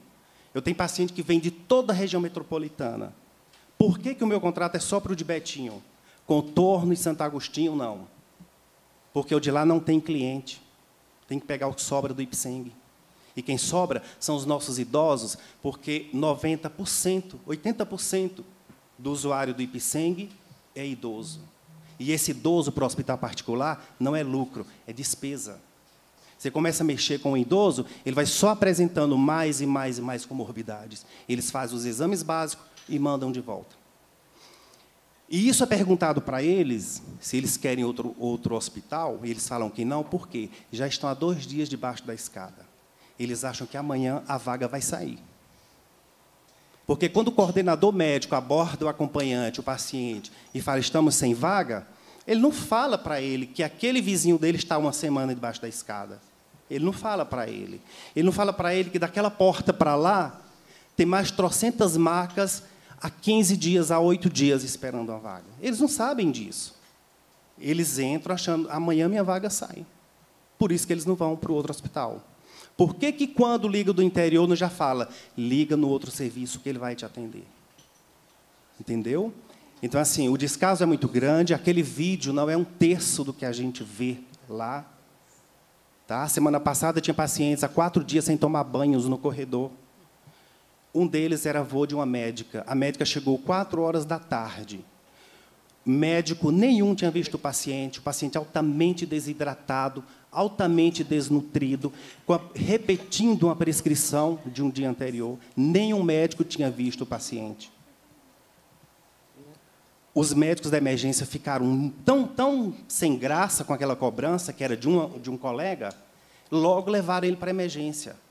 Mas os outros 500 que estão lá no corredor, que não são neto de médico, que não são parente de médico, continuaram lá debaixo da escada, sem banho há três, quatro dias. Porque ou eu dou banho, eu dou medicação. Então, entre o banho e a medicação, vocês concordam que o, a prioridade é a medicação? Entendeu? E eu deixo isso bem claro para eles. Ministério Público, agente Corém, sindicato, vocês, Ministério Público. Porque o seu vozinho ele vai morrer debaixo da escada, sim, sem banho e sem assistência. Porque dois técnicos de enfermagem não têm condições de atender 22, 40, 50 pacientes num posto de enfermagem. Não são pacientes bonitinhos que vieram quando não, são pacientes de demandas, com sondas, com curativos, com fraldas, com banho de leito, com acompanhante na sua cabeça 24 horas. Entendeu? Então, assim, a coisa é muito, muito, muito mais grave do que os relatórios, do que o pequeno vídeo que passou ali. E a gente pede, é uma pena que a secretaria não está aqui, que o governo não está aqui. A gente pede que o doutor Carlos, né, que a dona Ana Paula possa levar isso, e que a gente possa contar com isso. Porque já faz 10 anos que a gente briga por isso e que não melhora. Não melhora. É só um pouquinho de desabafo, porque eu também preciso. A gente, como eles não vão lá, né, através do, do sistema que vê a quantidade, mas não vê os detalhes, então vocês precisam saber. Hoje eu tenho vergonha quando alguém pergunta se trabalha onde, porque eu já sei o que é que eu vou ouvir. Já sei o que é que eu vou ouvir. Eu tenho que me preparar para falar onde trabalho e tentar defender da melhor forma, dentro do que a gente pode oferecer. Ok, minha gente, era isso. Eu que te agradeço. Eu que te agradeço bastante. A gente tem mais uma inscrição e a gente volta aqui para a mesa. Eu, Armando Soares. Senhor Armando, senhor é diretor do CISIPSENG. Bem-vindo. Com a palavra. Mas antes, senhor Armando, se eu me permita, é só fazer uma consideração. É, a CEPLAG e a SEGOV não vêm à audiência por uma tentativa de afastamento e de não responsabilidade. Eu não vou fazer mais audiência do IPSENC sem a CEPLAG e a SEGOV, não. Eu vou, eu vou conversar amanhã com o líder de governo aqui na casa. É uma próxima audiência em que a Segov e a CEPLAG não comparecerem, é, eu vou apresentar convocação. Porque quando relatos como o do Elzo são feitos com questões gravíssimas. E o Conselho está aqui me dizendo que esses relatos. É, o Conselho tem parte, não sei se todos os mesmos, mas relatos semelhantes né, é, aos que o Elzo apresentou, e quando eles são apresentados em audiência pública, sem que a Segov, sem que a CEPLAG estejam aqui, é uma tentativa de desresponsabilização, é de propósito a ausência, para que fique restrito à gestão do Instituto. Como se só a gestão do Instituto fosse a responsável por todo, tu, todas as demandas que aparecerem aqui. E eu quero dizer, gente, que não são. E quando eu faço esse debate, eu não estou discutindo uma defesa da gestão. O que eu estou discutindo é que a política do IPSENG ela é de responsabilidade do governo do Estado, que tem na Secretaria de Planejamento e Gestão todo esse estrangulamento de pessoal e que tem na Segovia a política. Não é? É, então, há uma, há, é, é proposital a ausência. É para não precisar ouvir. Não vou nem dizer para não precisar falar, é para não precisar ouvir as demandas que são trazidas em audiência pública, né? Porque a audiência pública é isso, as pessoas se inscreveram, estão trazendo seus relatos, né? É, e só não vão ter mais relatos porque de fato é horário em que, se você não está na sua, no seu momento de, de folga, né? Do, é, do, do trabalho, você não tem condição de se deslocar. Né? Deixa eu ouvir o Armando, nós vamos dar sequência aqui. Armando, obrigado pela presença do senhor, com a palavra. Tudo bem. Eu estava sentado ali, escutando direitinho as coisas, e, e resolvi falar, porque é o seguinte, eu tenho 77 anos, e eu fui o fundador do Hospital da Previdência, do IPSENG. Eu fundei o Hospital do IPSENG, eu inaugurei o Hospital do IPSENG, quer dizer, o dia da inauguração estava lá firme, lá pulando, ali, alegre, tudo bonito, bonito. Agora a minha fala aqui vai ser o seguinte: vai ser para o meu amigo André. Você me desculpa, André, eu falo amigo, porque não sei se você lembra, ser pequeno, o pai dele, gente, trabalhou comigo 30 anos no hospital. Então ele ia lá para o hospital, a gente brincava, o André. Então, pequeno, eu conheço. Tenho um carinho danado pelo André. Então eu fiquei muito feliz com, a, com, com o André na presidência. Então, a minha fala é mais para ele. André, eu vi coisa no Ipseng, até hoje, desses 77 anos que eu tenho, coisas, coisas bacanas. Eu já tive presidente do Ipseng que colocou uma pasta lá na sede, lá, nós estávamos lá na Praça Liberdade, colocou a pasta aqui debaixo do braço e atravessou a Praça Liberdade para discutir com o Tancredo Situação do Ipseng, lutou por Ipseng. E já tive uns também, que não vai ser o seu caso, pediu até demissão porque não foi aceito. Então, sabe, a minha fala vai ser pouco, André. O nosso colega que falou aqui agora, nossa, gente, ele não mentiu, não. A coisa no hospital está séria, mas séria mesmo. Eu estou aqui vivo, graças a Deus, é porque eu tive, eu tive a coragem de fazer uma coisa, de passar na porta do ECMI e falar aqui, se eu entrar, eu morro. Fui para o convênio e fui salvo. Quase que eu morri. Então, André, a coisa no hospital é séria, mas é séria mesmo. Então, a minha fala vai ser para você, com todo o respeito que eu tenho por você, com todo carinho, eu queria te pedir você o seguinte: mais empenho com o nosso IPSENG. Empenho, porque essa é, a CEPLAG está covardando, não quer vir aqui. Esse secretário que até eu conheço não quer vir aqui, porque é um covarde também. Então, eu queria explicar para você: você está aqui porque você tem alguma coisa para nos oferecer. Eles colocaram alguma coisa para você e eu acho que você não vai deixar cair o Ipsenk, que eu tenho certeza. Todos os colegas do seu pai, seu pai, que, que uns até muitos antigos, falam assim: gente, nós temos que pedir o André para não deixar o que, que vai acontecer com o Ipsenk. E estou aqui para te pedir mais empenho, não deixa acontecer o que está acontecendo e quero te pedir que você tem condição de fazer alguma coisa para o nosso Ipsenk, tá bom? Obrigado.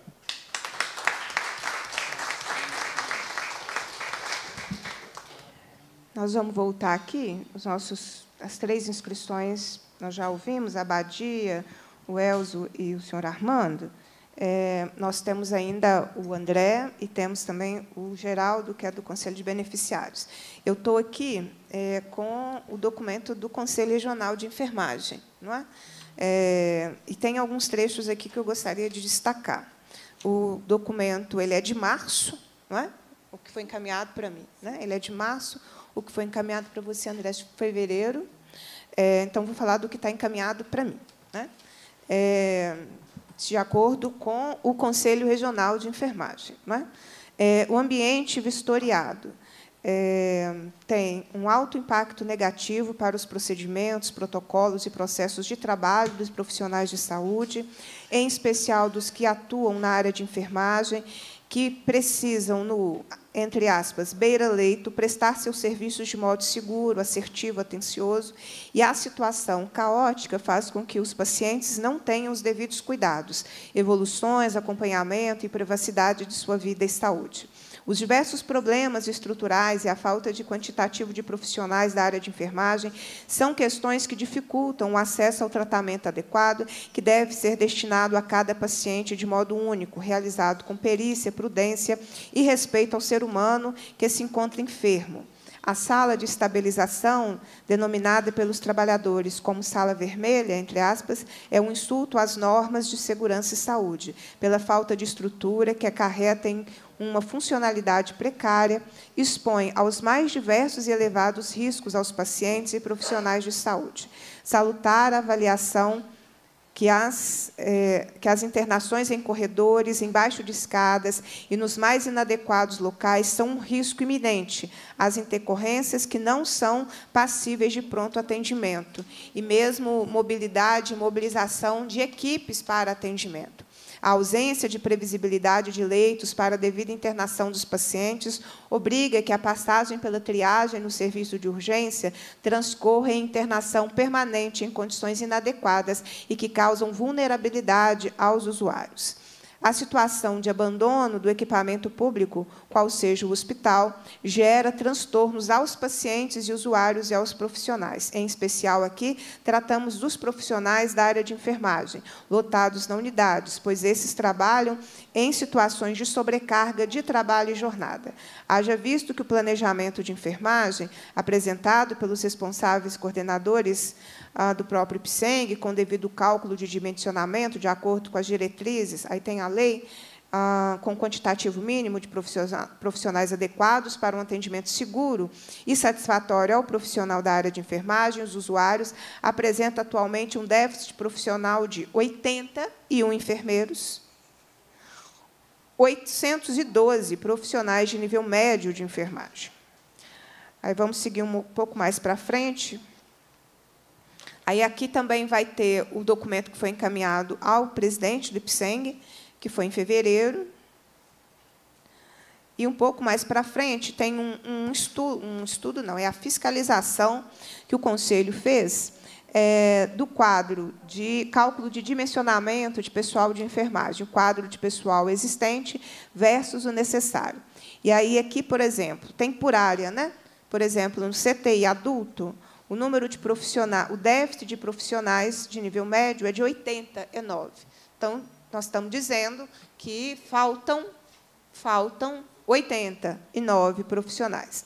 Ah, no terceiro andar, faltam 34 profissionais de nível médio, é o déficit. Ah, se nós pegarmos aqui uma outra ala no quinto andar, faltam 59. É isso mesmo? Deixa eu pegar aqui a linha certinha.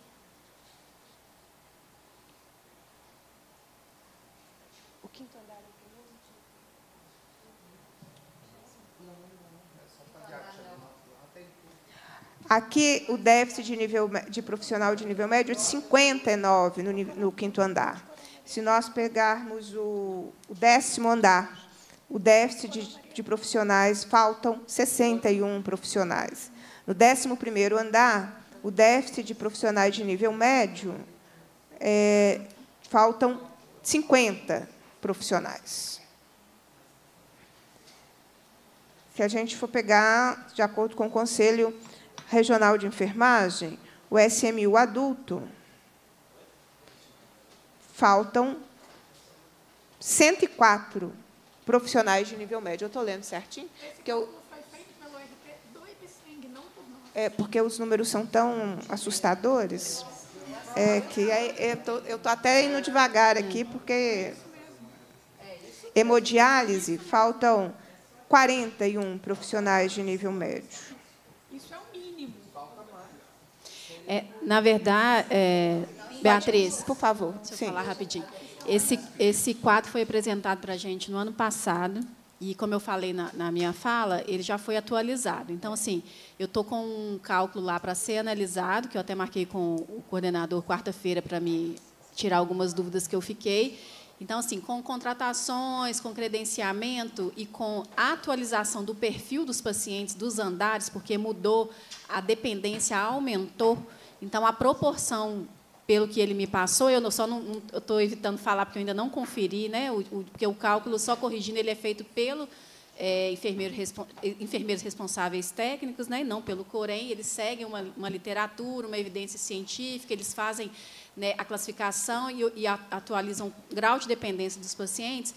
Então, assim, o último que foi apresentado, ele tem um déficit de 683 profissionais. O número de enfermeiros triplicou para 265 e o número de técnicos foi para 418. Então, assim, de 900 foi para 683 e, a, e o número de o, número, o déficit de enfermeiros aumentou de técnico diminuiu por causa que o grau de dependência dos pacientes aumentou. Então, quando aumenta o grau de dependência, eu preciso de mais enfermeiros do que técnicos de enfermagem. Mas esse cálculo ele vai ser é, conferido pelo conselho, juntamente com os enfermeiros responsáveis técnicos, para a gente fechar esse número e fazer a nossa, né, a nossa notificação desse, do cumprimento desse, desse quadro.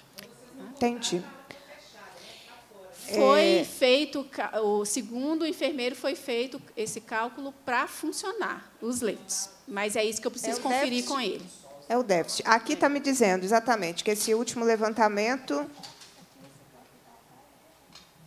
é pela, pelo documento de vocês, então é um levantamento do final do ano passado. Isso. Então vai ter uma atualização com as observações que você está nos apontando. Isso. Tá bem. É... Bem, gente, então acho que já, a gente já tem várias informações, já o Conselho já apresentou. Essas informações não são novas é, para a gestão do IPSENG, que recebe, que está ali lidando com o dia a dia e que, é, e que também recebeu em fevereiro esse mesmo documento. Eu vou passar para o André, então, para. para... Você, você, quer falar agora, Geraldo? É, é conselho de, de beneficiários, então acho que ele diferente da nossa aqui mesmo. É, então, vou passar para o André, presidente mas do IPSENG, é. é, mas eu, eu vou deixar de novo essa observação.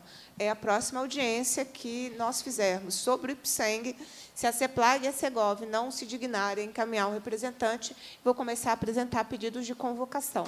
Porque, porque é uma, é uma tática, é uma tática da, do, do governo, através das suas secretarias, se distanciarem.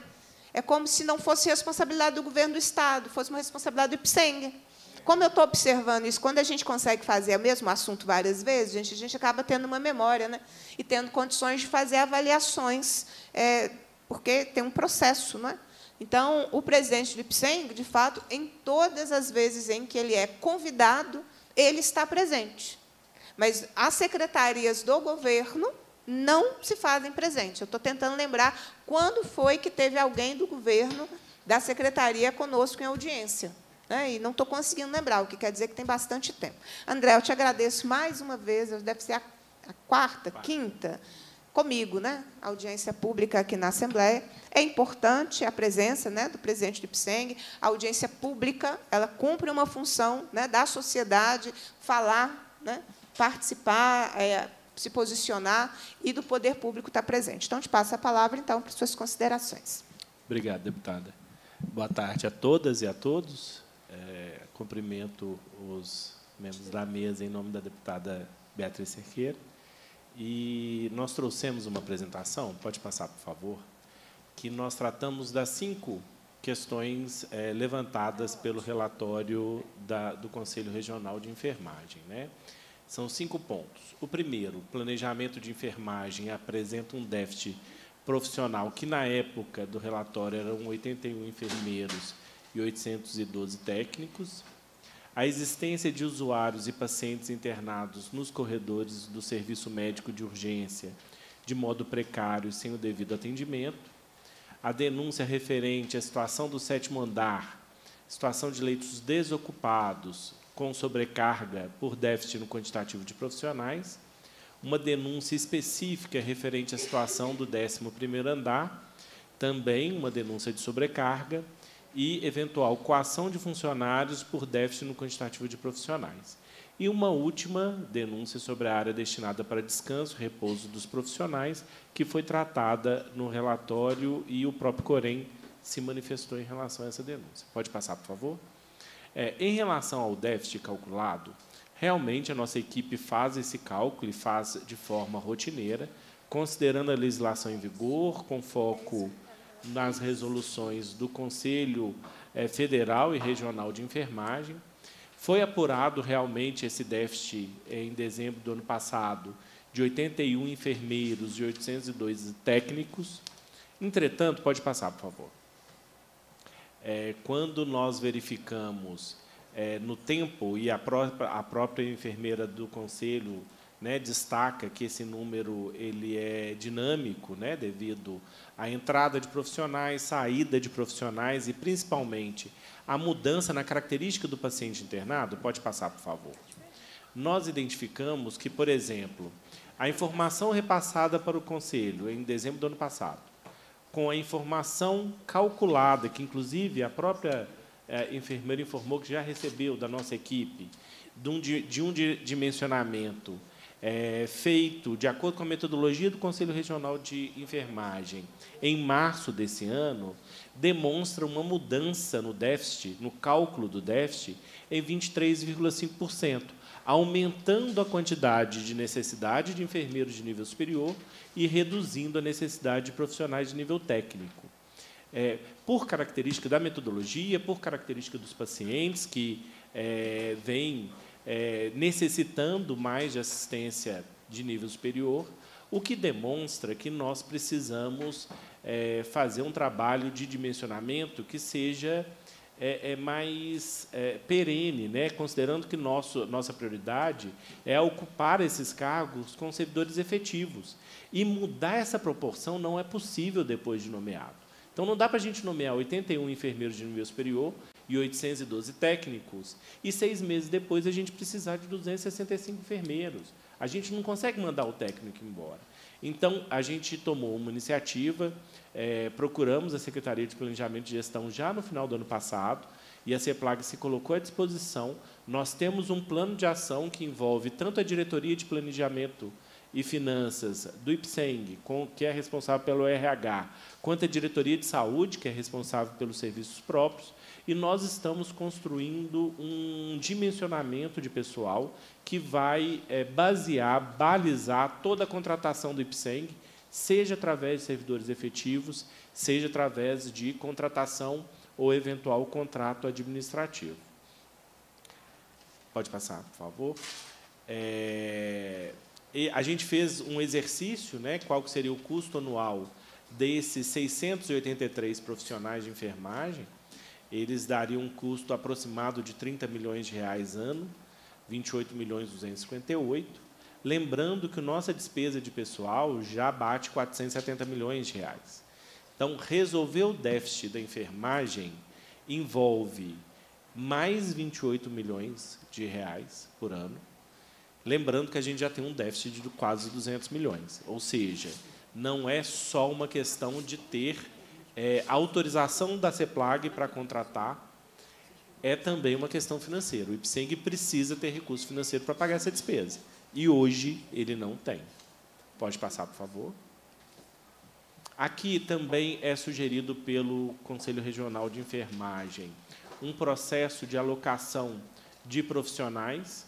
Nós demonstramos aí que já no concurso de 2023 nós nomeamos 21 profissionais de enfermagem e 11 de técnicos.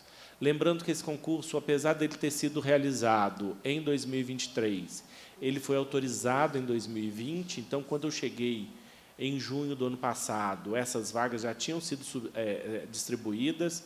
Eu confesso que eu, particularmente, teria dado mais atenção à equipe de assistência direta ao paciente, né? Infelizmente, não sei por qual motivo, imagino que tenha uma justificativa técnica, o concurso priorizou muitas especialidades é, que eu entendo que são acessórias nesse processo de déficit da assistência, né? mas temos é, uma preocupação grande em manter os editais de credenciamento publicados.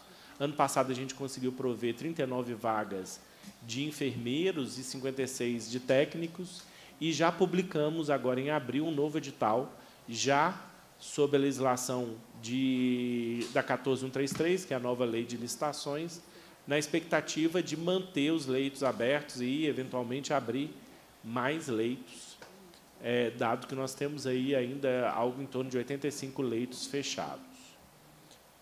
Uma notícia interessante, né? estava até devendo a Tieta essa resposta, nós, além dos 107 vagas que nós já pedimos à COFIN a autorização, nós recebemos da nossa Procuradoria o parecer jurídico, é, falando que é legal a transformação de 166 vagas de auxiliar de Seguridade Social, que é, são vagas que não podem ser mais providas, né, porque na carreira essas vagas não podem ser providas, é, a gente tinha um questionamento se seria legal transformá-las em analista e técnico, porque nós estamos é, ultrapassando o limite de, de, da lei de responsabilidade fiscal, né, o Estado de Minas Gerais.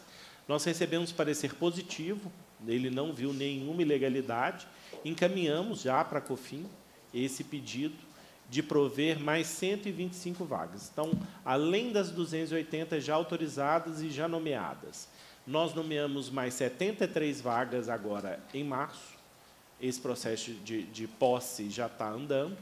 Já pedimos 107 em abril e pedimos agora em maio mais 125. Né?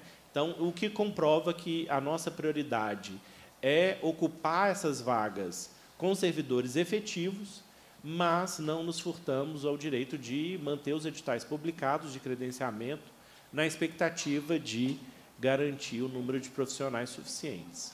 Pode passar, por favor. Então, a segunda denúncia, pode passar? Realmente tem é, é, essa denúncia específica do serviço médico de urgência. Nós temos e escutamos aqui vários relatos sobre a lotação do serviço médico de urgência, nosso pronto-socorro, e é, nós identificamos aí, num período de aproximadamente quatro meses, é, todos os picos, tanto de ocupação alta quanto de baixa ocupação. E conseguimos perceber que é, a situação de, existe uma situação de normalidade no SMU. Entretanto, nós também temos picos de utilização. Né? É, e, e, já não é nem a primeira nem a segunda vez que eu ouço que eu falei que o paciente prefere ir para o SMU. É, o que eu falei é que o nosso paciente ele tem um histórico de utilização do Hospital Governador Israel Pinheiro. E, às vezes, ele não tem conhecimento se o hospital está cheio ou está vazio. Ele vai, porque ele está acostumado a ir. Né? Eu já fiz isso, minha mãe já fez isso, minha avó, já fiquei com ela lá no SMU. Então, assim, não, não, não falei isso no tom de é, é, que seja pejorativo ou que é, a pessoa estivesse procurando uma desassistência. Não é isso. Agora, essa predileção do nosso, do nosso paciente pelo serviço do nosso hospital, às vezes gera esse pico de utilização. Né? É, não é algo próprio do IPSENG, pode passar, por favor. É, nós temos hospitais no, em Belo Horizonte inteiro que tem esses picos de utilização. Pode passar, por favor. Mas o, IPSENG a gente tem que lembrar que é uma rede. Né? Ele não é um único hospital. Mesmo na região metropolitana, nós temos vários hospitais que oferecem o serviço de urgência. Então, nós sempre é, fazemos uma aproximação, principalmente nos pacientes que estão no SMU há mais de 24 horas, e sugerimos é, o, a transferência para outros hospitais da rede. E quando nós fazemos isso, nós já conversamos com o hospital da rede. Nós já perguntamos se tem a vaga, nós já informamos a situação do paciente. Só que o resultado que a gente tem observado é que o nosso paciente não tem interesse em sair. Né? Nós temos aí uma taxa de inferior a 15% de, de pacientes interessados em serem transferidos o que gera para a gente essa, esse desafio, principalmente nos momentos de maior procura. Pode passar, por favor. Então, tratando a denúncia do sétimo andar, pode passar. É, nós temos uma rotina que, inclusive, foi submetida ao Conselho Regional de Enfermagem, que é, o técnico, né, o enfermeiro responsável, referência técnica, coordenador, ele faz a análise do paciente, dos pacientes que estão internados, e ele procura classificar esses pacientes com a necessidade de cuidado. Cuidado mínimo, cuidado intermediário, cuidado semi-intensivo e cuidado intensivo. E, com base nas características desses pacientes, ele define o dimensionamento daquele momento, né? daquele plantão, daquela, daquele intervalo. O que nós observamos, pode passar, por favor, é que, com base na disponibilidade de profissionais, e não é a falta de disponibilidade de profissionais, gente, não é só porque o IPSEM não tem é, equipe. É porque, às vezes, naquela, naquele dia, um enfermeiro, ou um médico, ou um profissional, ele não pôde é, é, é, ir trabalhar. Ou ele está de licença, ou ele é, não conseguiu chegar no trabalho a tempo. Né? É uma situação dinâmica. É claro que eu sei, e não estou é, falando que não existe, a gente realmente tem um déficit de profissionais. Né? Só que eu estou tentando esclarecer aqui é que faz parte da rotina do hospital a construção desse dimensionamento. Pode passar, por favor. E nessa construção, nós temos alguns leitos que vão ficar disponíveis e alguns leitos que não vamos poder receber paciente, porque nós não temos profissionais suficientes para manter todos os leitos ocupados. Né? É, é um ponto que é levantado pela, pelo Conselho Regional, se não seria mais interessante bloquear um, uma quantidade fixa de, de leitos ou um andar inteiro. Só que nós temos um hospital grande, um hospital vertical, com é, é, alas e andares dedicados a alguns tipos de atendimento. Fechar o andar, por exemplo, de pediatria significa, eventualmente, a gente transferir os, os profissionais que já têm essa rotina de atendimento pediátrico para um atendimento adulto e depois voltar com ele com o atendimento pediátrico. Né? Então, o trabalho que nós fazemos, nós submetemos essa metodologia à, à vigilância sanitária e não temos tido problema, é nós avaliamos rotineiramente todo o dimensionamento de profissionais e distribuímos os pacientes de acordo com a necessidade do paciente e a especialidade do hospital. Então, por esse motivo que nós não conseguimos e não entendemos que seja o ideal fechar leitos permanentemente. Pode passar, por favor.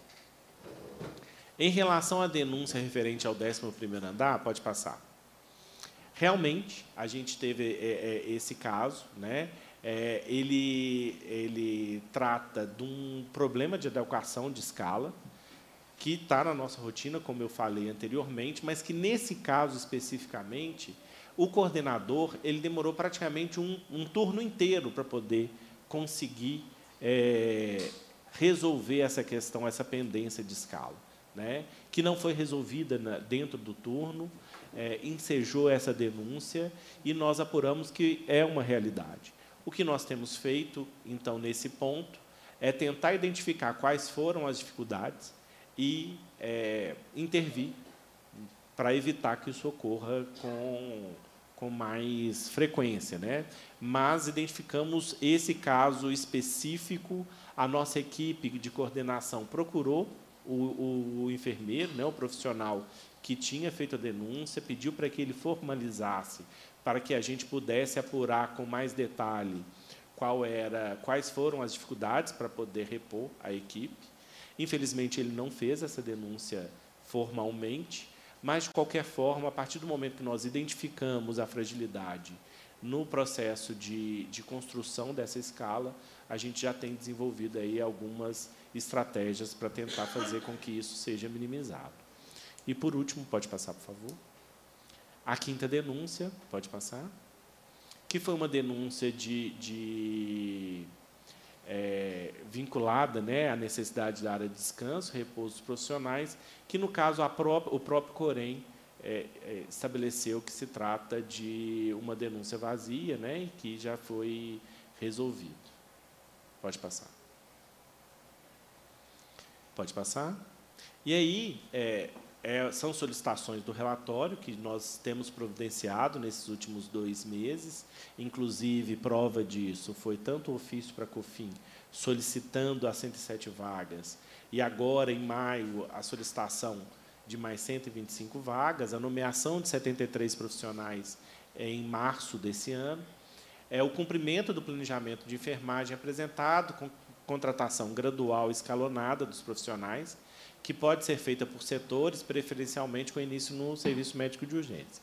Né? Nós publicamos, então, um edital de enfermagem, publicamos a nomeação de 73 profissionais dentro do concurso e solicitamos também dois processos de é, contratação por meio de concurso público de 107 vagas e agora vamos solicitar mais 125 vagas. Solicita também realização de estudo para verificação de leitos subutilizados e, se necessário, fechamento temporário dos mesmos. Essa resposta também está sendo providenciada. Nós, nesse período, nós abrimos leitos. Né? Nós, no momento da fiscalização do COREM, nós tínhamos mais de 100 leitos fechados. Hoje, nós temos algo em torno de 85 leitos é, bloqueados para internação. E esperamos agora, com, essa, eh, com esses novos provimentos, abrir mais leitos e estamos atualizando essas informações para encaminhar para o Conselho. E, por último, apresentação de plano de ação, documentação administrativa de planejamento de enfermagem, elaboração de um cronograma exequível e possível para o provimento dessas vagas. Nós já temos, nós já temos algumas iniciativas que, como eu falei, já foram tomadas, e agora a gente está fazendo análise principalmente do plano de ação de dimensionamento, para que a, a gente possa assumir o compromisso de definir um número de déficit e, no final, fazer uma proposta para a CEPLAG de provimento dessas vagas. Pode passar. É isso.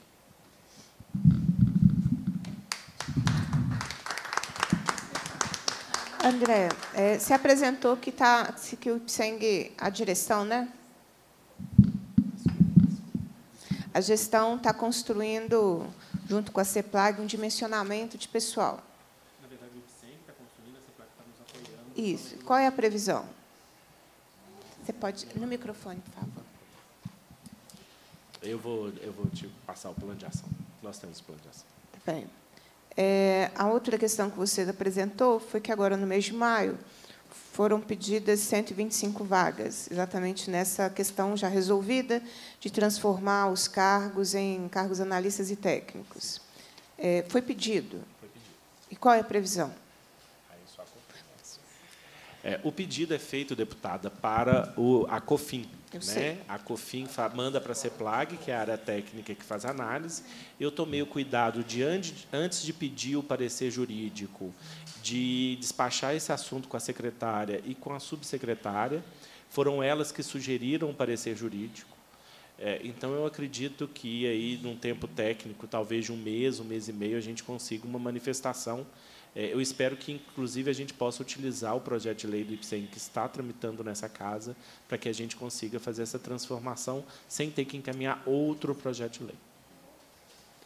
É, você fez uma observação enquanto você apresentava, né? A questão é, você reconheceu de que tem um déficit, mas também você fez uma observação, né? É, de que às vezes acontece de naquele dia o profissional não foi trabalhar. É, vocês têm um levantamento é, em relação ao adoecimento dos próprios servidores do IPSENG, adoecimento é, e aí das mais variadas né, situações. Nós temos um departamento de saúde e segurança do, do trabalho e temos essa informação, podemos encaminhar. Mas é, é porque assim, chama a atenção é quando você associa a discussão de déficit à situação, ah, acontece, um servidor não foi trabalhar, um servidor. Quer dizer, são situações que são diferentes, né? Desculpa, deputado, talvez eu não tenha sido claro. É. Eu estava fazendo essa observação em relação à metodologia de cálculo do déficit. Então, essa metodologia não é feita só. Porque eu não quero passar a impressão que essa metodologia é utilizada só para calcular déficit. Essa metodologia é utilizada para definir o dimensionamento da rotina do trabalho. E na rotina do trabalho não tem só déficit. A gente tem também a ausência eventual de profissionais. Né? Então, não é uma realidade do impacto no déficit. É uma realidade do cálculo do, do, da- da metodologia que foi tratada no relatório do Conselho Regional de Enfermagem. Sim, então a gente tem uma metodologia do cálculo, mas a gente também tem um déficit, que independente do trabalhador adoecer, tropeçar, cair, chegar atrasado, porque o metrô para, né, gente? É uma realidade agora, depois da privatização, né? O metrô para, o metrô atrasa, é, e aí a pessoa atrasa para chegar ao trabalho, isso pode acontecer, independente dessas circunstâncias que são eventuais e que não dependem de ninguém é, há um déficit, né? Porque como deu uma emboladinha aí, né? A discussão do déficit com a questão é, de eventuais atrasos ou eventuais ausências. É, eu vou desculpa. primeiro eu vou passar para o Geraldo do Cisipseng, que ele ainda não falou, né? Ele e na sequência aí a gente volta para o conselho, tá bem? A partir dessas apresentações, eu acho que agora vocês têm. Porque, só me permitam, essas respostas desse, desse estudo de vocês, dessa fiscalização, eu compreendi que estão sendo apresentadas aqui hoje. Está muito inédita essa audiência. Ok. Não, tá é, as informações estão sendo apresentadas Desculpe, aqui. deputada, é porque a gente não tinha um prazo para a resposta e eu me assumi o compromisso de fazer respostas coerentes com a solução. Então, é, eu acho que dois meses para resolver um problema de 10 anos, bem razoável. Né? Estou aproveitando a audiência, porque eu não viria na audiência sem dar resposta nenhuma. É importante vir à audiência com, com respostas. É, Geraldo, então, do Conselho de Beneficiários, e depois eu volto para o Conselho Regional. Tá bem? É, deputada Beatriz, é, em seu nome, né, eu quero cumprimentar os demais deputados que fazem parte dessa comissão, também cumprimentar o presidente do IPSENG, o senhor André, é, os membros do Corém, os colegas sindicalistas aqui presentes, servidores públicos. É, a deputada Beatriz, eu gostaria, em nome do Conselho de Beneficiário, agradecê-la né, pelo empenho que sempre teve e que tem tido com essa demanda árdua do IPSENG. Toda vez que nós viemos à Assembleia Legislativa para debater o IPSENG, a gente encontra novidades que nos deixa estarrecidos. É, ouvindo os relatos dos colegas, né, principalmente o técnico de enfermagem, com relação a situação que encontra o hospital do Ipseng, na sua, no seu serviço de emergência, o SMU, a gente fica até com medo de sugerir que as pessoas procurem aquele hospital para o atendimento médico hospitalar de urgência. Mas, ao mesmo tempo, a gente recebe, e eu até posso comprovar isso, porque já procurei o hospital em algumas vezes, a gente recebe a notícia e a gente vê também, como eu vi no, na, na ocasião que eu fui procurar o hospital, um atendimento bastante satisfatório, né?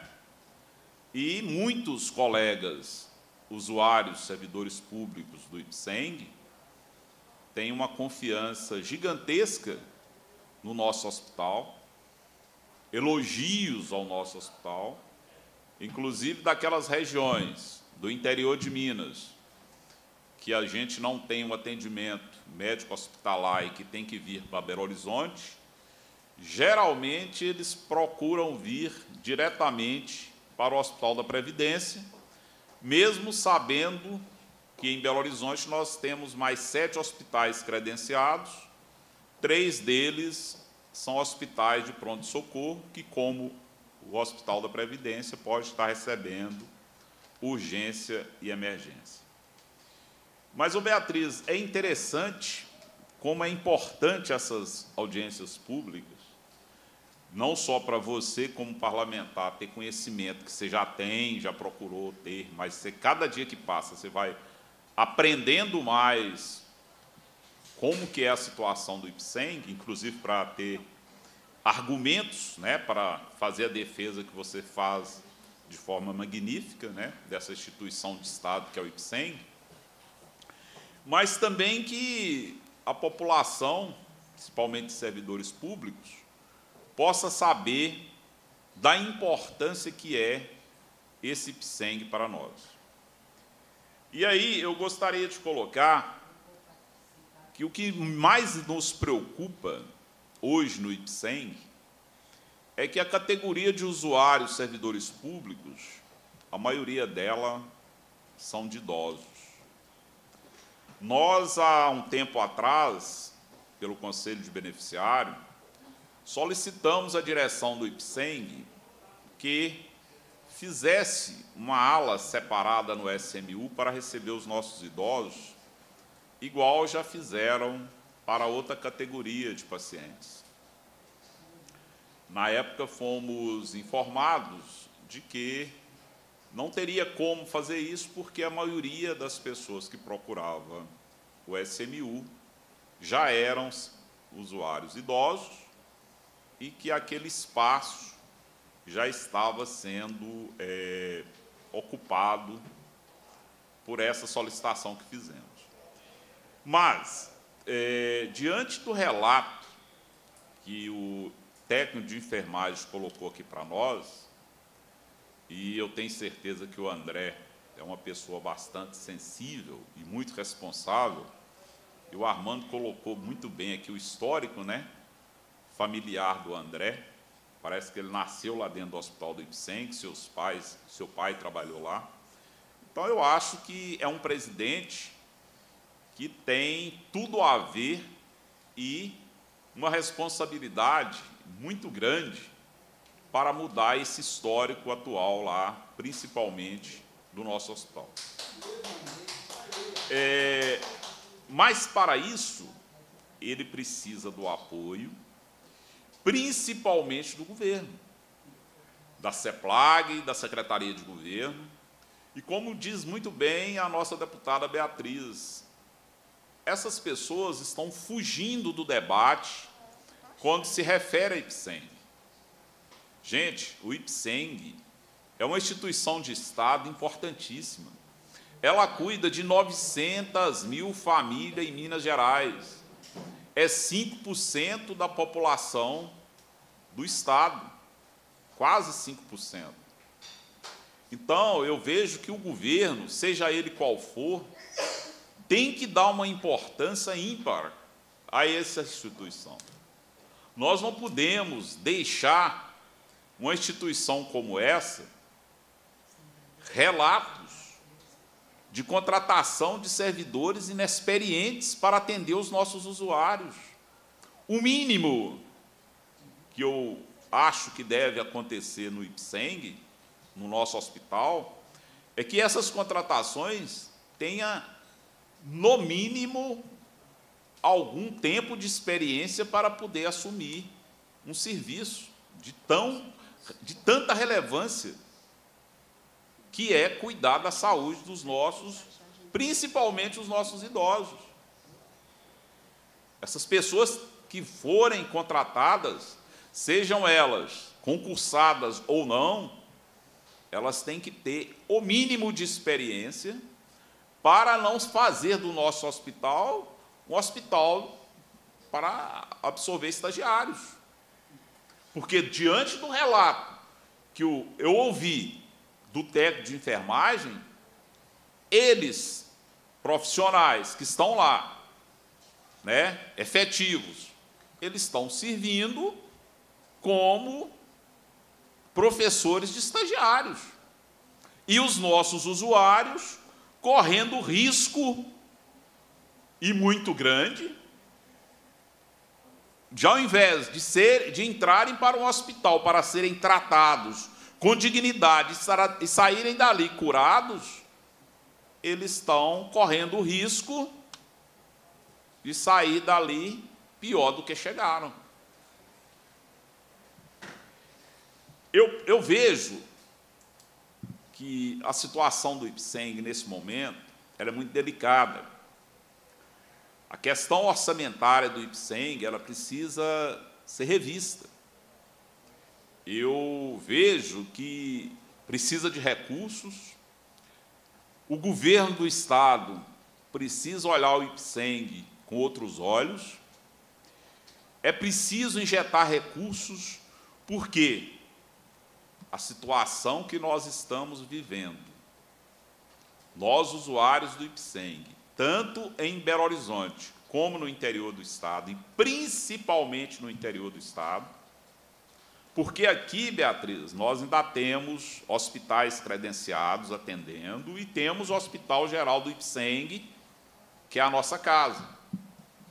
Mas no interior, nós temos problemas seríssimos já perdendo inclusive hospitais que eram credenciados, que hoje não estão querendo ser mais credenciados ao IPSENG, porque a tabela não é atrativa. Né? Temos médicos especialistas que eram credenciados ao IPSENG, hoje não querem mais, porque o valor pago pela consulta não é atrativo. Temos clínicas e laboratórios no Estado que não querem renovar com o IPSENG, porque a tabela do IPSENG não compensa. Ou seja, nós precisamos olhar o IPSENG com mais carinho e com mais atenção. E digo mais: o governo do Estado não pode fechar os olhos para 900 mil usuários do IPSENG em Minas Gerais. E a senhora deputada, por favor, continue essa luta. A sua importância nessa luta ela é fundamental. Foi você que, com um projeto de lei, fez com que o IPSENG passasse a receber corretamente os recursos que saíam dos 3,2 que saem do contra-cheque dos servidores que muitas vezes ele era, ou ele permanecia uma boa parte na Secretaria da Fazenda, e a gente fazia de conta que estávamos sendo é, ressarcidos para que o nosso instituto pudesse trabalhar a saúde dos nossos usuários. Eu acredito que hoje, através desse projeto de lei, a Secretaria de Fazenda deve estar repassando todo o recurso, tanto da parte patronal, que é 1,6, como os 3.2, que é a parte dos nossos usuários. Porém, é importante que os conselhos, né, principalmente aí o CODEI, é, ele fique de olho nesses recursos, se eles realmente estão sendo repassados, porque quando a gente verifica a situação do IPSENG com relação à parte financeira, a gente vai notar que a situação ela é muito delicada. E hoje, você dar atendimento a esse tanto de pessoas, tanto de usuários, num estado gigantesco como Minas Gerais, de difícil acesso às altas complexidades, é importante que nós tenhamos uma discussão sobre essa questão orçamentária do IPSENG, com bastante coragem, observando que o IPSENG não é uma instituição de governo. O IPSENG é uma instituição de Estado para cuidar de nós, servidores públicos, que trabalhamos no Estado de Minas Gerais. Então, era isso que eu gostaria de colocar nesse momento.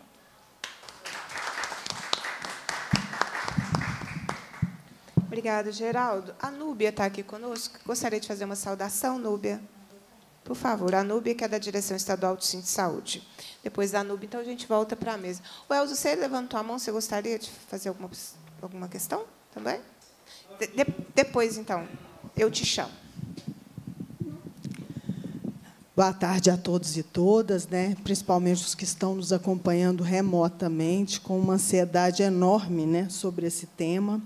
Deputada Beatriz, muito obrigada por mais uma luta né, aqui nessa, nessa discussão tão ampla e tão difícil. Eu estava no Conselho Municipal de Belo Horizonte e vim acompanhando assim, com o coração na mão, a fala dos colegas e a fala né, das discussões, para nós que estamos há 30 anos no Estado e conhecemos esse hospital como nós conhecemos, né? Eu tive meu filho lá, tive um prazer assim enorme, né? Então, o uso e ver a situação que esse hospital está. Há pouco tempo eu gravei né, lá na, na porta.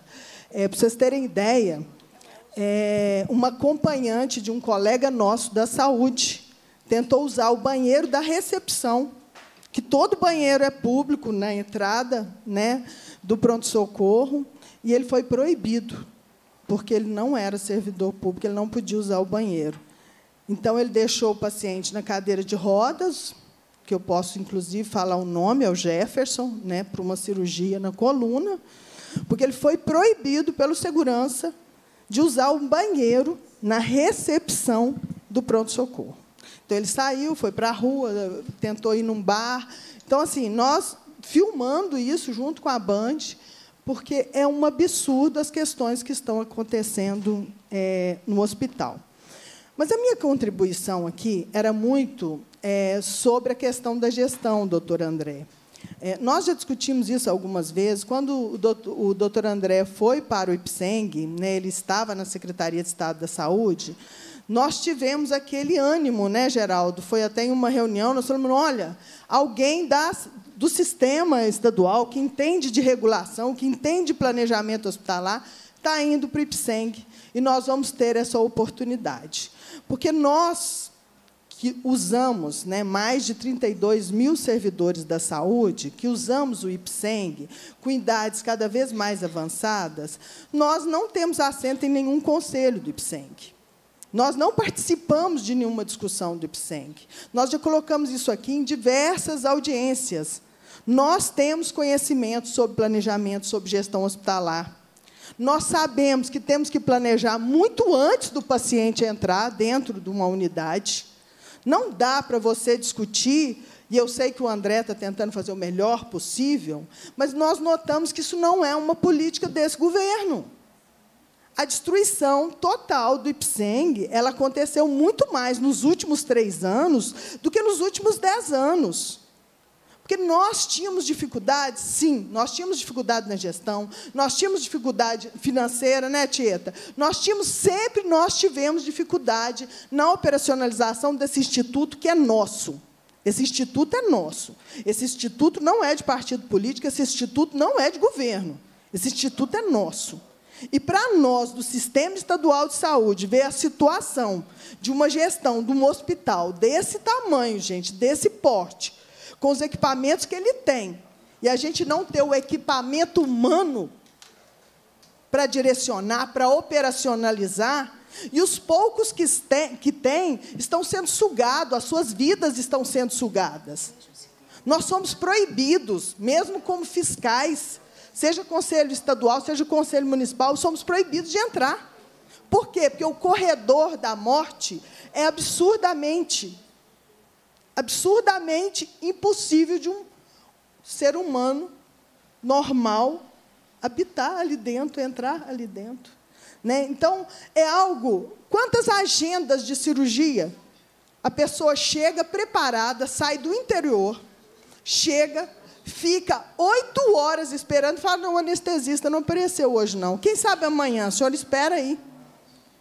É assim que é feito o respeito com os servidores públicos do Estado de Minas Gerais, que entrega seus serviços à sociedade de Minas Gerais. É esse o respeito que nós temos. E são pessoas aposentadas, são pessoas debilitadas, porque muitas vezes os crônicos degenerativos não, não estão na pesquisa. Você não sabe quantos que tem na fila de espera para a discussão de qualquer tipo de atendimento. Entendeu? Como que é usado no sistema de urgência e emergência a questão do protocolo de Manchester? É usado pelo IPSENG? Igual vocês usam na FEMIG, igual a gente cobra de toda a rede privada? Que nós temos que ter uma pulseirinha, saber a gravidade, quem quer primeiro, quem quer depois. Nós não podemos ser atendidos por um serviço né, é, conforme a necessidade do médico que está ali dentro. Nós temos que ser atendidos pela necessidade de saúde que nós procuramos a unidade. Este é o problema. Nós temos que olhar gestão e organização de, funciona de funcionamento das unidades, diante das demandas apresentadas pelos servidores. Então, não adianta fazer um planejamento né, é, minucioso se a gente não sabe o que, que nós precisamos atender, o que, que está na fila de espera. Né? Eu me preparo cinco blocos cirúrgicos e eu não tenho nenhuma cirurgia. Então, o planejamento em si, ele precisa acontecer. Né? E precisa, sim, envolver o grupo do Sistema Estadual de Saúde, do Sistema Único, porque é no Sistema Único que está absorvendo as pessoas que não são atendidas pelo IPSENG. E é muito rápido. Tá? O Sistema Único está muito ágil. Né? É, esse final de semana mesmo foi Sete Lagoas. É, nós já tivemos é, é da região do norte de Minas diversos que não conseguiram seus atendimentos pelo IPSEM e entraram na rede. O sistema único é para todos, mas ele sabe fazer gestão e ele sabe fazer organização de serviço de saúde. Então, nós precisamos disso dentro do IPSEM. Tá? O, o subdimensionamento é algo absurdo. É a representatividade de não planejar. Não existe colocar um leito sem ter a equipe necessária dentro das normas necessárias para cobrir. Não tem como você usar um equipamento de tecnologia dura sem você ter a equipe necessária para cobrir. Né? Eu não posso ficar internada no IPSENG 20 dias aguardando um urologista, que não é meu caso, mas do meu irmão, por exemplo, que ocorreu. Então, assim, eu fico esperando um urologista. Cálculo renal, sentindo dor. Quer dizer, isso é caro para o hospital, né? muito caro para o hospital. E, na verdade, eu deixo de atender outras pessoas. Porque eu não consegui planejar bem a minha assistência. Credenciar rede privada em substituição do nosso hospital, gente, eu acho que é algo que a gente precisa repensar. Porque não pode ser mais barato. Não tem nenhum profissional em, em hospitais privados que seja mais barato que um servidor público. Então, não pode ser mais barato, não pode ser mais eficiente. Então, é isso. Nós estamos pagando muito caro para ser menos atendido e, em detrimento disso, vamos deixando, por causa da burocracia, por causa da legislação, vamos deixando de contratar, vamos deixando de fazer concurso, vamos deixando de equipar, vamos deixando de dar manutenção num prédio daquele tamanho, né, que já teve cirurgias de referências internacionais, de neurocirurgias, né, cirurgias cardíacas dentro do IPSENG. Então, nós tivemos já o IPSENG dentro da glória do sistema de saúde, que todo mundo queria sair de todo lugar para ser atendido naquele hospital. Então, não é à toa que as pessoas procuram aquele hospital. É com a esperança de que mais um possa eh, ajudar a organizar aquele hospital e que ele seja mantido para nós, servidores públicos. Muito obrigada. Nós que te agradecemos, Núbia. Eu gostaria de lembrar, não é um assunto desta audiência, mas é um assunto desta comissão, é, que amanhã, às 14h30, na reunião ordinária da Comissão de Administração Pública, está na pauta o projeto de lei 2127, é, que é um projeto que cria né, uma instituição para a privatização da saúde pública, que é da rede FEMIG. Então, olha só, é, não tem a ver, mas tem a ver com essa audiência. Porque, na medida em que nós estamos lutando pelo fortalecimento do IPSENG, é, estamos enfrentando o que enfrentamos, você ainda corre o risco de você ter uma privatização da rede pública, do SUS, né, do, dos hospitais da rede FEMIG. Ele está na pauta, ele já passou por duas comissões, a Comissão de Constituição e Justiça e Comissão de Saúde está na terceira comissão.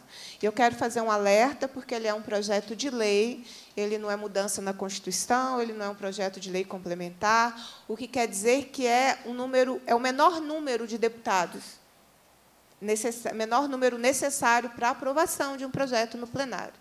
Então, se nós tivermos 39 deputados e deputadas que marcarem presença no dia dessa votação, 39 que marcarem presença, e esse projeto for votado, com a votação que acontecer, esse projeto de privatização está aprovado, mesmo que não sejam os 39 votando. Então, eu estou explicando essa tramitação para a gente compreender a, a fragilidade que é algo tão complexo pode ser decidido de uma forma tão rápida é, e, e, o governo está com pressa. Né? é porque o governo, para a forma como o projeto está tramitando aqui na Assembleia, a gente percebe né, se é um projeto prioritário ou não para o governo do Estado. O governo do Estado tenta, desde 2019, instituir modelos de privatização, desmontando a rede da FEMIG. Né. Então, várias foram as tentativas, e essa é a tentativa atual que nós estamos aí enfrentando. Então, amanhã, terça-feira, a partir das 14h30, na Comissão de Administração Pública, este projeto é um dos, né? Este projeto estará na pauta para deliberação da comissão. Ou seja, faltam duas comissões, essa é a terceira. Mais uma comissão e o projeto segue para o plenário, para a votação do plenário. É, nós vamos devolver aqui a palavra primeiro para o Conselho.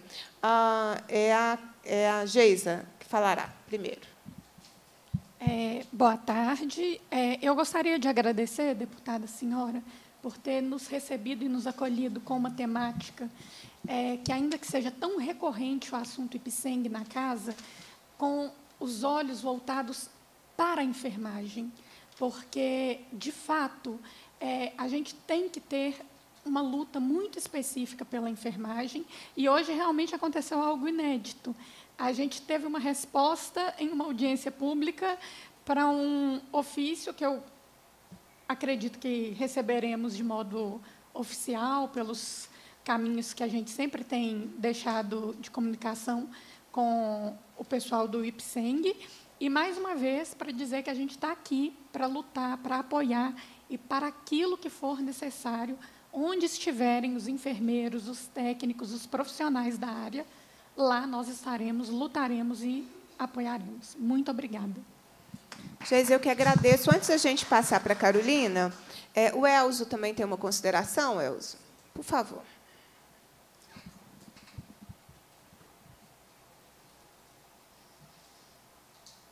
Antes da minha consideração sobre a fala do doutor André, eu queria só reforçar a fala da colega, da última Núbia, não é isso? que realmente o Ipseng é o único hospital que interna paciente para ficar uma semana esperando um exame e existindo um médico de sobreaviso e que não vem final de semana. Eu sou prova disso, já vi paciente suspeito de trombose venosa profunda de membro superior direito, e esperar 12 horas uma médica que estava de sobreaviso, foi chamada às 11 da manhã, chegou às 10 da noite, xingando a enfermeira, porque o paciente não estava ainda na sala para fazer o exame. A enfermeira era aquela enfermeira credenciada, que tem que ouvir tudo, vai revidar médico. Médico, para alguns, é Deus no céu e ele na terra. Eu sou credenciado, não tenho vínculo nenhum. Vou brigar com o enfermeiro? Eu, como atrevido e estava acompanhando a história desde manhã, comprei a briga e falei com ela. Ou você vai calada espera, eu chamo o acompanhante e explico por que, que ele está esperando 12 horas. Porque provavelmente você estava em outra instituição dando plantão. Porque não se chama um sobreaviso para uma trombose e se espera 12 horas. Simplesmente ela nem para mim olhou. E isso acontece constantemente, doutor André. Chega pacientes infartados, final de semanas, ou feriado prolongado, e a desculpa do hemodinamicista que está de plantão é falar que o aparelho de ECG do SMU ele tem problema e ele supra os pacientes. E fica pedindo para o residente fazer, repetir o eletro, repetir o eletro, repetir o eletro. E a gente sabe que não é isso. Eu estou há 28 anos fazendo eletro, 10 deles no IPSENG, e esse sobreaviso ele não vem. Primeiro, porque ele não respeita o colega que é residente, que está lá. E segundo, porque o, o paciente realmente não tem valor nenhum nesse sentido. Fica o sobreaviso. Final de semana e, e feriado prolongado, isso já acontece. A outra coisa era em relação à fala do doutor André, quando ele fala que a gente não pode contar com aquele funcionário que vai faltar, ou que vai atrasar e que vai demandar uma espera. Isso é nos hospitais normais. No IPSENG, isso é rotina. eu estou com uma escala aqui de enfermeiro do plantão 1 diurno, um efetivo e seis credenciados. O sistema de credenciamento desse enfermeiro, não entendi até hoje, tem mês que ele tem direito a duas folgas e tem mês que ele tem direito a uma folga. Então, imagine, seis enfermeiros aqui, cada um tem direito a duas folgas. Eles vão tirar essas folgas quando? Segunda-feira? Terça-feira? Não, eles vão tirar final de semana, vão tirar na sexta. Coincide de três estarem com essa folga. Então, se for contratar mais, que reveja essa questão do contrato. Que eles possam fazer JCT, que é a Jornada Complementar de Trabalho, a hora extra, porque eles não podem também. Ontem nós estávamos no SMU, à noite, superlotado, com três enfermeiros. Ontem à noite, três enfermeiros. A gente estava com uma urgência na sala vermelha para subir para o CTI. Eu, técnico, fazendo todo o papel do enfermeiro para ele chegar a encontrar tudo pronto, porque ele estava é, triando o paciente. E o outro único, fazendo internação de outros pacientes do posto lotado, e o terceiro no outro anexo, na pediatria, sozinho, para fazer triagem de pediatria, de ortopedia e acompanhar a equipe. Três enfermeiros nós estávamos. E desses, um só efetivo. Então, que melhore esse contrato para que isso não seja rotina, essa falta. Né? No outro plantão, nós temos quatro efetivos, nove credenciados. O problema é o mesmo. No outro, nós temos de técnico nove efetivo, oito credenciado e por aí vai. Né? Não desmerecendo o credenciado, é meu colega de profissão, de trabalho, mas assim a desvalorização com eles fazem com que acarrete o sobrepreso para nós. Eu peço uma folga, o meu colega já está de folga, não tenho vínculo nenhum com o hospital, porque não me paga corretamente, simplesmente eu falto, é isso que acontece e o credenciado fica sozinho com mais um outro, e na maioria das vezes recém-chegado, que você está fazendo o seu e treinando o outro. Então, que melhore também esse credenciamento, que melhore essa. Porque essa rotina de chegar e o funcionário não veio é uma rotina, não é um eventual. Só pontuando. Obrigada. Eu vou passar agora para a Carolina. Carolina, que também é do Conselho Regional de Enfermagem. Isso.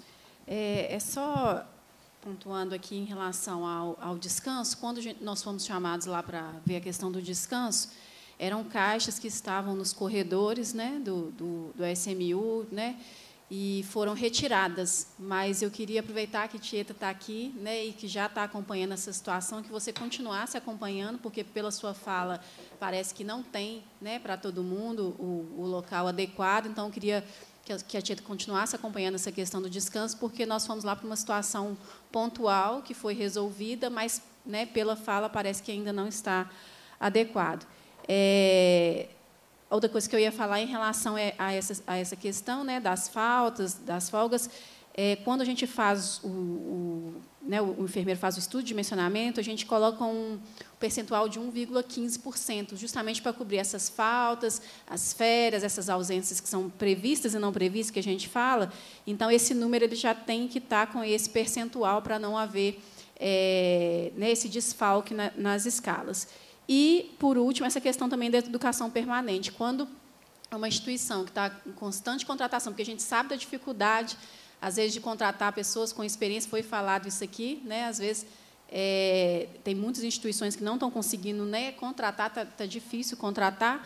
Então, a, a, na hora que faz o cálculo, também tem que colocar uma porcentagem a mais para a educação também permanente, para conseguir fazer esse, essa capacitação desses, desses, profissionais que estão chegando, né, para não ficar é, uma pessoa que está ali, às vezes, um mês treinando e não conseguindo já chegar e já ir né, para assistência direta. Então, tudo isso tem que ser pensado na hora de analisar esse estudo, que é o que eu vou fazer com, com o enfermeiro responsável, é, como eu disse, na quarta-feira, para analisar se o, o, estudo que foi realizado ele está é, de acordo com o grau de dependência, né, como foi apresentado ali pelo doutor André, é, no, no IPSENG é feito né, esse, esse, esse grau de dependência, mas quando eu fui, ele era feito em alguns andares, mas ele não era colocado em prática. Então, por exemplo, se eu tenho é, quatro pacientes de cuidados mínimos que a gente fala, né, dois intermediários, é, ele era feito só para falar que ele era com esse grau de dependência, mas na hora de dividir a equipe não era feita essa distribuição. Então eu fico com a enfermaria cinco e ali, independente, se eu, eu fico com seis, independente se é mínimo, se é intermediário, se é alta dependência, não havia essa distribuição. Então, na última visita que eu fui, eu solicitei para os enfermeiros que eles não só fizessem a análise do grau de dependência, mas que eles é, analisassem o grau de dependência para distribuir os profissionais, porque não adianta você só aplicar a escala e não fazer essa distribuição diariamente. Então, assim, realmente, é, depois dessa ida minha, acredito que foi feita essas, pelo que foi apresentado, foi feita essas análises, essa distribuição e essa proporção de enfermeiros e técnicos parece que mudou, né? E o número teve essas alterações, que é o que a gente vai estar analisando e vai estar acompanhando a instituição. Carolina, obrigada. Eu vou passar as considerações. Eu que agradeço. Obrigada. Agora, é da Maria do Socorro, vice-presidenta do Conselho Regional de Enfermagem.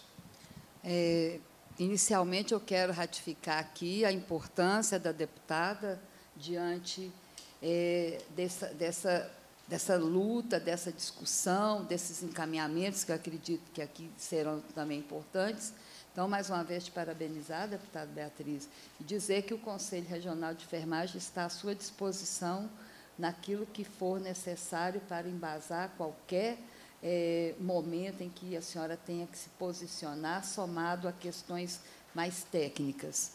É, porque, politicamente, né, nós temos que parabenizá-la. Né?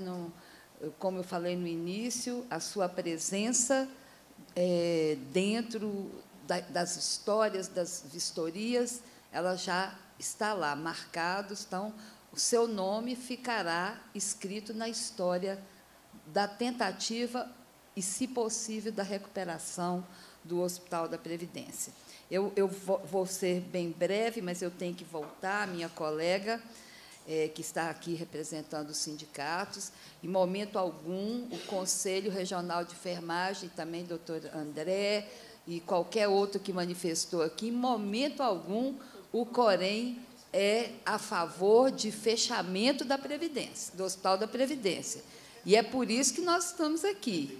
E eu estou hoje e quero parabenizar toda a equipe de fiscalização do Conselho, que esse documento que nós elaboramos, né, ele hoje traz a possibilidade de um planejamento. E isso significa dar mais uma chance para o Hospital da Previdência. E quando é, a Antonieta ela, ela coloca, fez algumas colocações, sim, realmente ela deu um diagnóstico. O Hospital da Previdência está no CTI. E está faltando oxigênio para ele, está faltando medicamento para ele. Então, o hospital que já cuidou de tantas pessoas está num leito de CTI, mal cuidado. Por quê? É, quando nós enfrentamos a situação da, da, do Hospital da Previdência, nós temos que enfrentar sem poetizar. Porque se eu poetizar o Hospital da Previdência, eu vou lembrar e foi até a doutora Geisa que me falou isso, que nos antigos contra-cheques tinha desconto para a construção do Hospital da Previdência. Esse hospital não foi construído do nada. Ele teve participação dos profissionais, dos servidores. Então, cada profissional ali é dono do Hospital da Previdência. Então, se o remédio está sendo er dado errado ou indevidamente, nós agora temos que mudar o medicamento. Não tem que poetizar. Está ruim, tem que organizar, tem que consertar. Nós não podemos aceitar saúde mais ou menos. Nós não podemos aceitar que os profissionais de enfermagem sejam é, responsáveis por garantir que funcione um hospital. Sim, temos outros profissionais, e eu não desmereço nenhum. Eu creio numa equipe multidisciplinar, num cuidado centrado no paciente, mas nós somos 75% da força de trabalho. E isso ninguém pode tirar da enfermagem. E essa audiência aqui foi para os defender os profissionais de enfermagem e, subsequentemente, ao defender a enfermagem, eu defendo a saúde, eu defendo o Hospital da Previdência. É, então, nós precisamos enfrentar e reconhecer o problema, sem poetizar.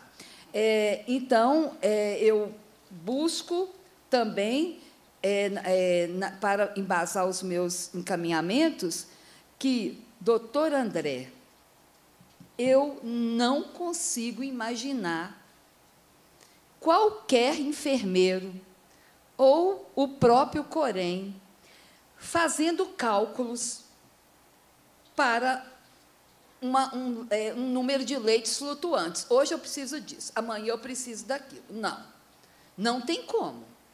Nós nunca vamos chegar a uma condição de atendimento assim. O Hospital da Previdência precisa definir o que ele pode atender.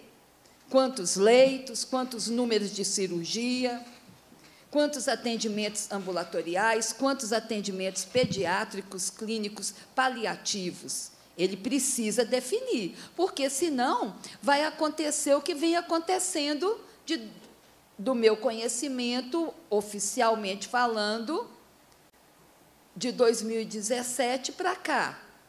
E depois da nossa gestão para cá. Estamos no segundo mandato. Então, nós precisamos ter um planejamento que realmente fale, não, olha, vou, nosso cálculo aqui, nossa tratativa progressiva, é, primeiro nós vamos fazer isso, segundo nós vamos fazer aquilo. Mas eu não posso amanhã falar, não, não existe isso. Nós temos que conhecer qual que é a demanda do Hospital da Previdência. E nós conhecemos. O diretor conhece. Eu sentei com o, anti, com o diretor que veio do Júlia para o Hospital da Previdência e falei com ele. O senhor está falando para mim o que o outro diretor falou há três anos atrás. Eu vim para consertar o Hospital da Previdência. Essa foi a minha missão. Ele já não está lá mais. Agora é o doutor Felipe, estava aqui, a Antonieta me contou. Então, nós temos que ver também é que existe um problema de gestão que é a gestão estratégica da instituição. Então, isso tem que ser analisado, tem que ser é, verificado, isso tem que ser. É porque é muita gente lá fazendo gestão, não é pouca, não, gente.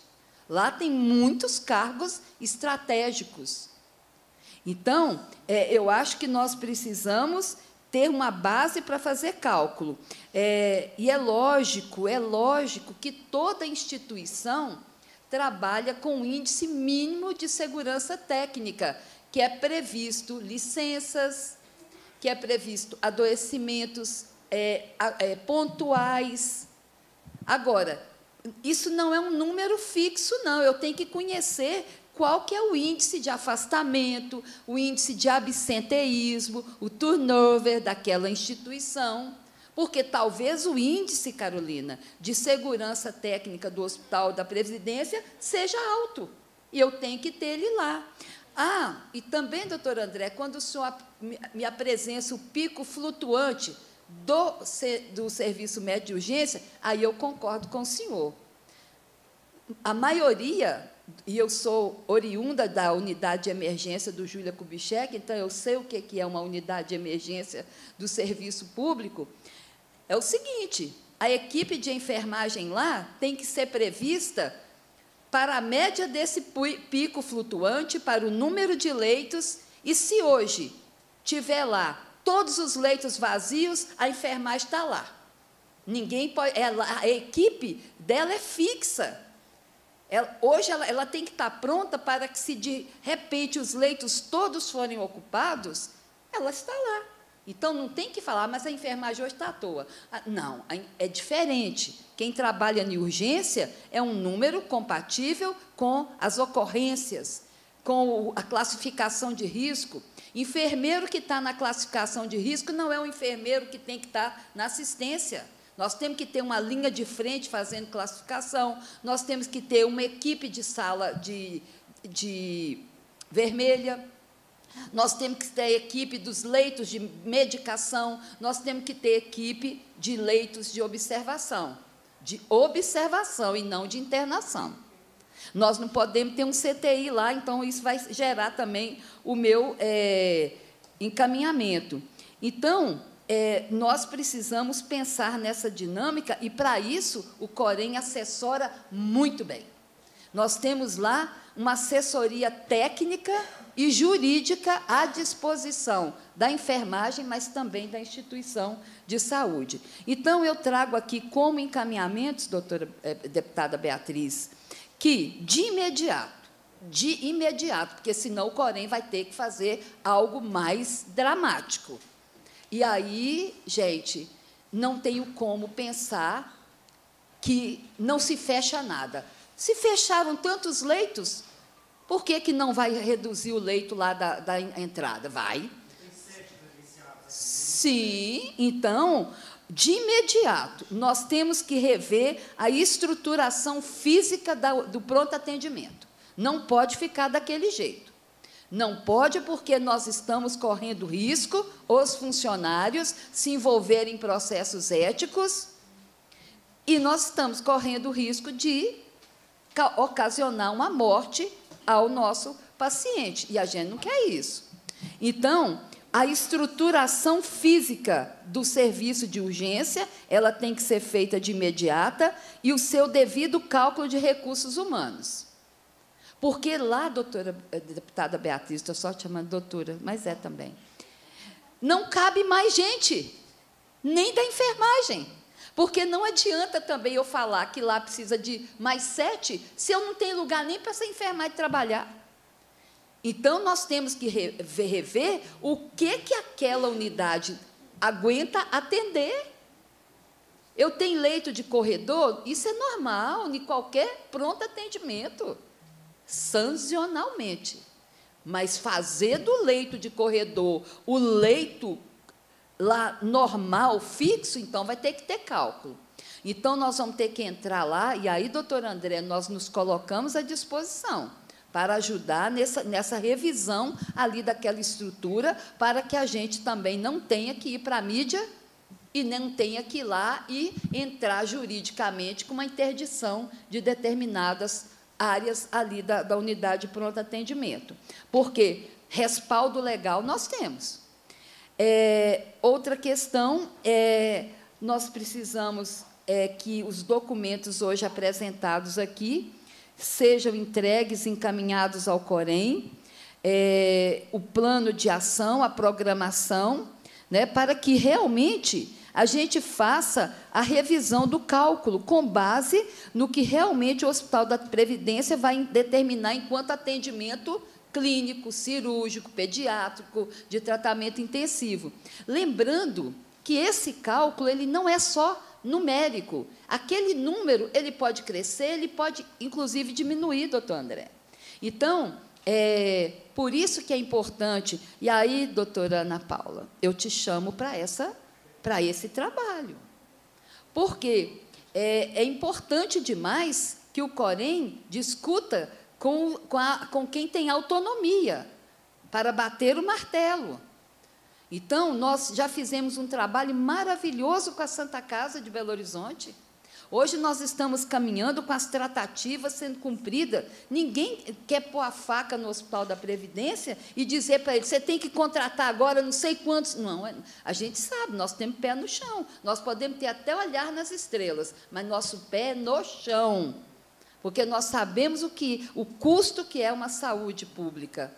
Então, nós precisamos ter tratativas. Então, vamos começar agora. Então, agora nós vamos entrar. Não adianta pegar, vou contratar 20 profissionais e pulverizar no Hospital da Previdência, que não vai resolver. Nós temos que pegar primeiro, equipar o pronto-socorro, depois ir equipando aquilo que for abrindo. É assim que o Corém propõe aqui.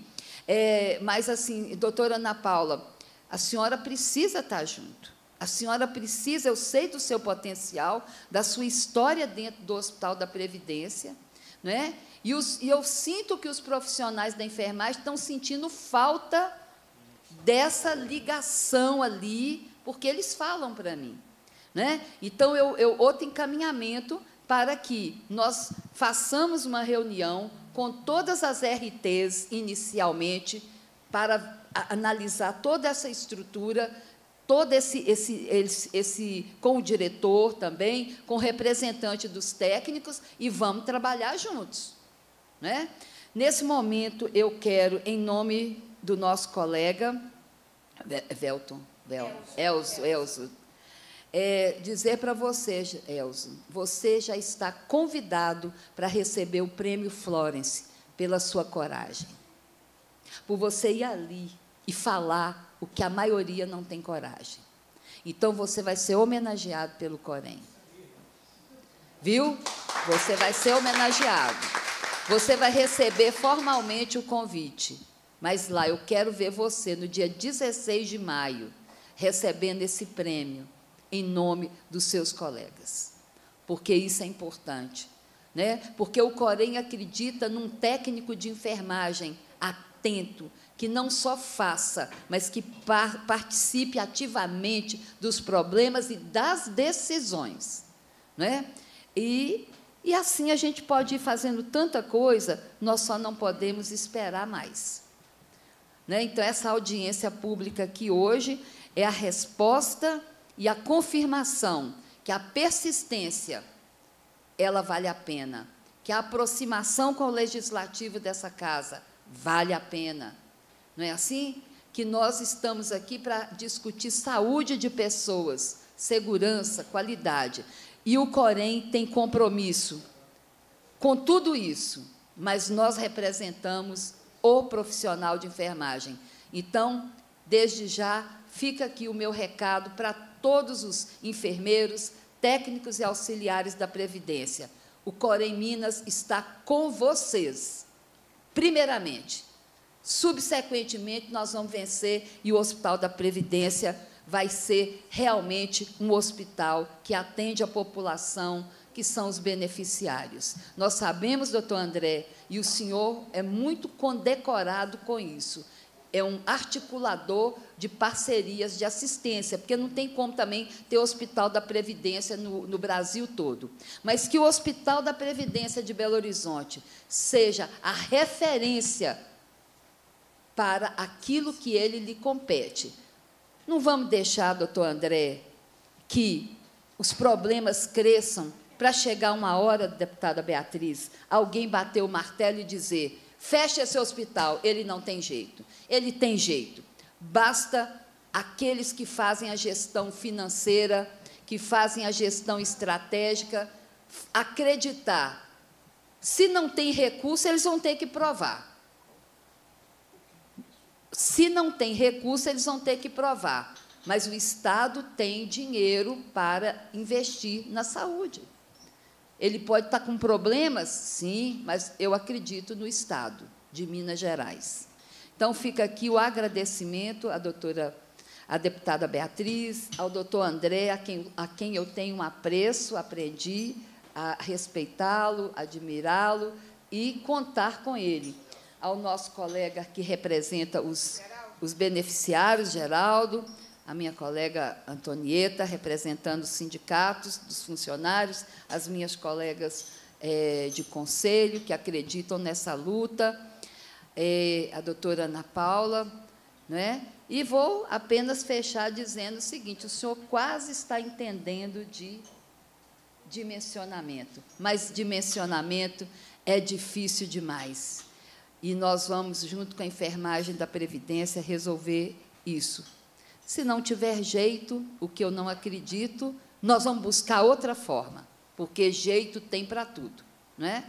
Se, no final, nós entendermos que por trás de tudo isso existe o interesse de fechar o Hospital da Previdência, caberá aos seus funcionários lutar com a arma que ele tem. E outra coisa, Antonieta, se vocês não têm suficiente para fazer uma escala mínima, não tenham medo, se precisar, lutar com as armas que a enfermagem tem, que é não atender mal, porque nós não merecemos atender mal a população. E é isso que eu acredito. Viva a enfermagem, viva o Hospital da Previdência, Viva o SUS, estamos juntos. Maria de Socorro, muito obrigada. Vou passar agora as considerações do presidente do IPSENG, é, para também trazer suas considerações. Eu já ia perguntar, ele me disse que vai, vai nos informar exatamente do prazo do plano, desse plano de ação. É, e aí já fica.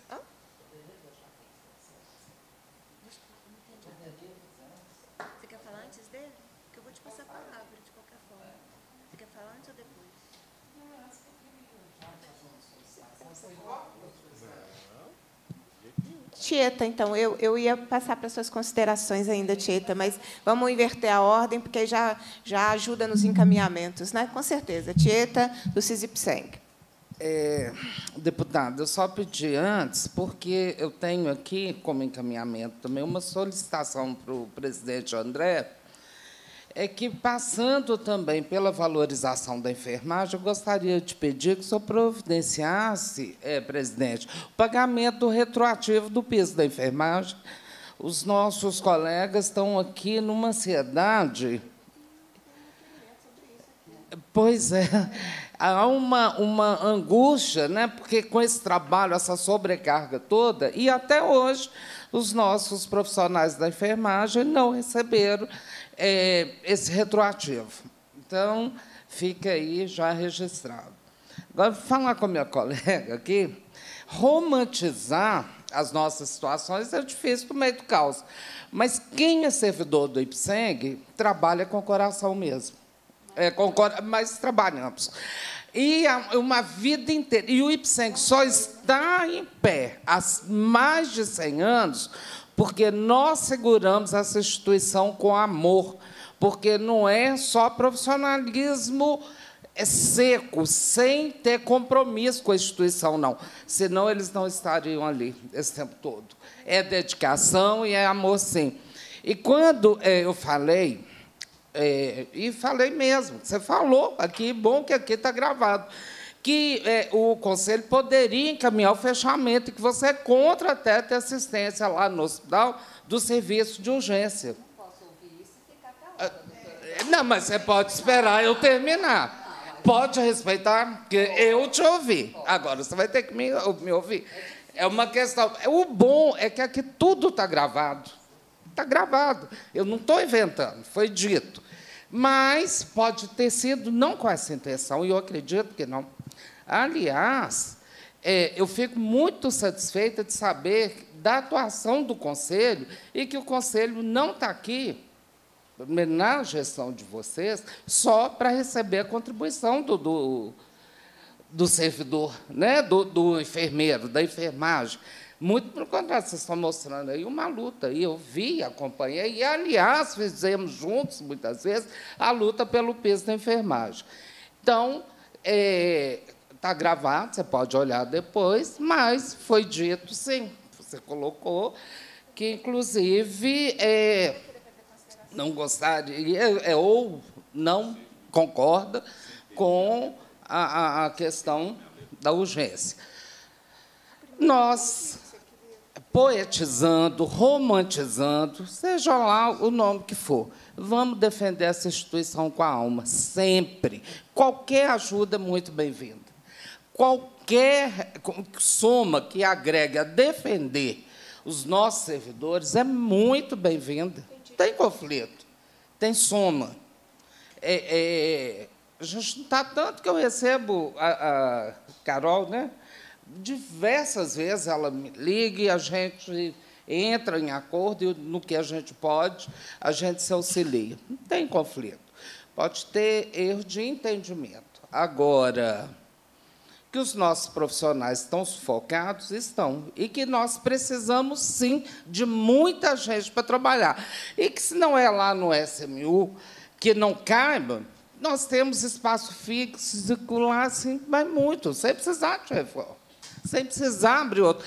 Tem espaço físico. Fechou lá, onde que era do, do a urgência do, do respiratório, onde atendia o Covid, é imenso. Dá para atender, nós temos espaço, dá para pôr muita gente e tratar, sim, com dignidade os nossos servidores. O que não dá é para fechar e, Núbia, com todo o respeito que eu tenho ao SUS, mas muito respeito, uma dívida de gratidão com o SUS, mas SUS é SUS, Ipseng é Ipseng. Eu defendo o SUS com a alma também. Acho, eu sei da importância que o SUS tem para a vida da população, mas não seria justo jogar mais um milhão de usuários do IPSEG na fila do SUS. Né? E tragédias acontecem em todo lugar. Há pouco tempo, o secretário de Saúde, oriundo do, do IPSEG, sabendo das condições que o IPSEG tem, pediu abrigo no centro de especialidades médicas, porque morreu um rapaz lá né, de dengue por falta de atendimento, inclusive mal orientado pelo protocolo de Manchester. E sim, o IPSEC faz uso do protocolo de Manchester há muito tempo. É, então, assim, às vezes a gente tem que ir lá pôr o dedo na ferida para as coisas aflorarem, para que o conhecimento chegue a todos. Está, sim, desrespeito. Já chegamos a dividir lá é, sala de descanso entre homens e mulheres e, e, e de ter os nossos colegas é, é, trocando uniforme, entrando do sexo oposto e tudo, uma, uma falta de respeito. Já tivemos assédio, sim, dos profissionais da enfermagem, que se julgam superiores aos técnicos e lá assediando. Já levei isso para a direção do IPSEG, mais de uma vez. Né? Então, os problemas são muitos, muitos. Mas o que a gente não pode perder a, a, o norte é que o Ipseng é nosso, sim. Nós temos orgulho dele e a gente quer que o Ipseng seja fortalecido. E é nesse sentido que é, eu conclamo todos, porque o IPSEG não é obrigação só do sindicato do IPSEG, é de todos os representantes que as suas bases, as suas categorias, utilizam o IPSEG. E é muito bom. A gente ouve lá, mas eu que pago o salário de vocês. Fala, não, né, não, vocês não pagam o meu salário. Quem paga, o mesmo cofre que sai o meu salário sai de vocês. São os nossos impostos. Né? Se você contribui, você contribui para a sua saúde, para você ter o seu atendimento. E muitas vezes é mal interpretado. E quando eu digo que nesse momento o pessoal não está podendo sair, a gente fez essa brincadeira pouco antes, mas quando precisa a gente põe o pé na porta e com força. E a gente mete o pé na porta e com força. Porque para defender essa categoria, eu já podia estar na minha casa aposentada há muitos anos, há mais de 15 anos. Mas eu optei por estar à frente de uma categoria que eu acredito e das coisas que eu acredito e para devolver minimamente tudo que eu tenho, devo ao Ipseng. Então, eu devo, romantizo sim, poetizo sim, porque o Ipseng foi tudo para nós, a maioria dos servidores do Ipseng. É difícil ouvir um que vai falar que tudo que ele teve na vida não deve ao Ipseng. E também gostaria de parabenizar pela homenagem ao Elcio, e que mais Elcio é, é, brotem no Floresça. Tá Muito obrigado.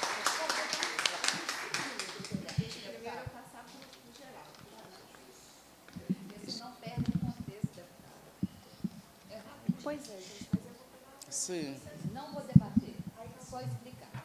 Só explicar. Isso vai virar não, eu não vou, é só explicar. Não, nós vamos encerrar comigo aqui, que eu não vou criar. Presta atenção. Gente, é, eu estou aqui até sendo um pouco. É, é, é o seguinte, porque já que está gravado, eu não estou sugerindo fechar nada, que fique gravado. O que eu disse é uma questão técnica, científica, ética e legal. Se não houver uma reorganização do serviço médico de urgência, existe, existe algo que é legal, que é interdição. Interdição não é fechar, é modificar a, a, a forma do atendimento. Nós, não, nós temos que entender por quê a enfermagem corre risco lá dentro. O paciente corre risco lá dentro. Está gravado não só a minha fala, mas do técnico de enfermagem. Então, nós vamos deixar isso acontecer? Não. Agora, o que nós estamos fazendo aqui é a tentativa de que isso não precise ser feito, porque nós estamos abertos a, a negociações técnicas, mas eu não posso ne eh, negociar exercício legal da profissão e nem atividade legal da profissão. Isso a autarquia não pode negociar sua lei 7.498 e nem o seu código de ética. Não se negocia isso. E, Antonieta, quando eu falo romantizar, eu sou oriunda do Hospital Júlia Kubitschek. Eu trabalhei no Hospital Júlia Kubitschek 34 anos. O sentimento de todo servidor do Hospital Júlia Kubitschek é de amor ao Júlia. Então, eu sei do que você está falando. Agora, enquanto presidente em exercício, vice-presidente, eu não posso estimular a enfermagem mineira a dizer que ela trabalha por amor, ela trabalha com amor, com respeito, com dignidade, com ética, com competência. Isso é diferente. Então, quando, porque nós romantizamos nossa ação, porque nossa profissão é vocacional. Não foi a enfermagem que nos escolheu, não fomos nós que escolhemos a enfermagem, é a enfermagem que nos escolheu. Mas é por, porque nós ficamos historicamente assim, nós evoluímos como ciência, mas não evoluímos como profissão. Nós somos uma profissão e toda profissão requer um elenco de, de, de atribuições técnicas que elas não podem ser consideradas. Nós não estamos no estado de guerra. No estado de guerra, é o que está acontecendo lá no Sul, eu, eu faço o que eu, que eu puder de qualquer forma. Então, eu convido novamente a enfermagem do Ipseng a olhar para ela e vislumbrar um futuro que realmente ela seja reconhecida e valorizada. É isso que eu quis dizer. Mas o romance pela enfermagem corre nas nossas veias, Mas esse romance, esse amor, não pode ser a base da nossa luta. Nós precisamos lutar é por condições melhores de trabalho, que você já faz, né? Você é uma sindicalista, sabe disso, eu também já fui do CENG, mas tem na minha veia. Mas eu não posso falar para a enfermagem assim. Continue do jeito que está, porque nós trabalhamos por amor. Não, gente, eu estou falando que eu vou chamar novamente a enfermagem. Enfermagem da Previdência. Lute por melhores condições com todas. Eu sei, Antonieta. Mas eu estou me dirigindo à enfermagem, eu não estou mais me dirigindo ao sindicato, eu estou me dirigindo à enfermagem. Enfermagem da Previdência. Isso, então, enfermagem da Previdência. Unam-se ao sindicato que tem a sua patente e a sua representatividade e a sua legalidade. Unam-se ao Corém, que tem a sua patente, que tem a sua representatividade e a sua legalidade, porque nós conseguiremos vencer continuando sendo a enfermagem que é a arte do cuidar, porque nós cuidamos não é de uma pedra fria, nós cuidamos é do templo da alma. E o templo da alma é um corpo físico, mental e espiritual. E esse corpo precisa de amor, mas ele precisa de condições também. Tunieta, meu respeito a você, ao sindicato, a todo. E é um prazer hoje ter dividido essa mesa com você. Tá bom? Fica aqui o meu cumprimento. E não vamos debater, que a deputada Beatriz precisa. É, Nós não vamos fazer isso a deputada. Pode, bem, pode. Eu vou passar agora para as considerações, do, considerações finais do Geraldo, do Conselho de Beneficiários do IPSENG. É, pelo Conselho de Beneficiário também, eu gostaria de. Eu não tenho como é, providenciar uma homenagem, mas gostaria de fazer um agradecimento ao meu colega servidor público lá do Hospital do Ipseng, pelas informações trazidas a esta Assembleia, a audiência pública aqui na Assembleia Legislativa. Isso mostra a importância, deputada Beatriz, das informações que chegam numa audiência pública, né? e, ao mesmo tempo, cobrar do presidente André medidas urgentes para evitar essas questões, tanto no OSMU como no hospital, principalmente no nosso atendimento de urgência, porque é ali que o servidor chega para salvar a vida, né? porque geralmente quem vai para a urgência deve estar numa situação muito delicada, e eu tenho certeza, André, que com a sua sensibilidade, com a sua competência, você vai olhar melhor, né, direcionar melhor essa situação do SMU, principalmente do SMU. E cobrar de você também, né, para que leve ao governo a importância das obras do hospital serem ou começarem a serem realizadas, né? Porque tudo que nós ouvimos aí é a necessidade de aumentar o número de leitos no hospital que estão fechados, e a gente sabe que eles estão fechados exatamente porque nós temos uma obra paralisada lá e que precisa ser retomada.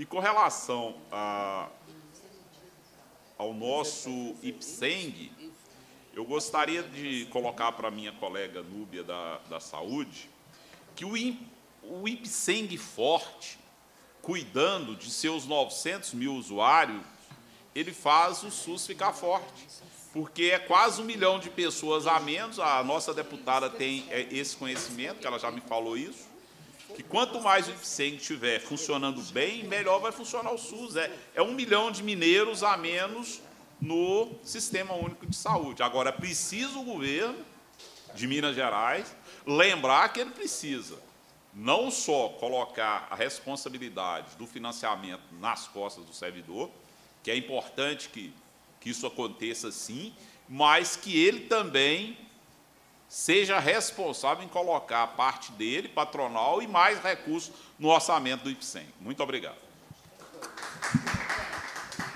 Obrigada.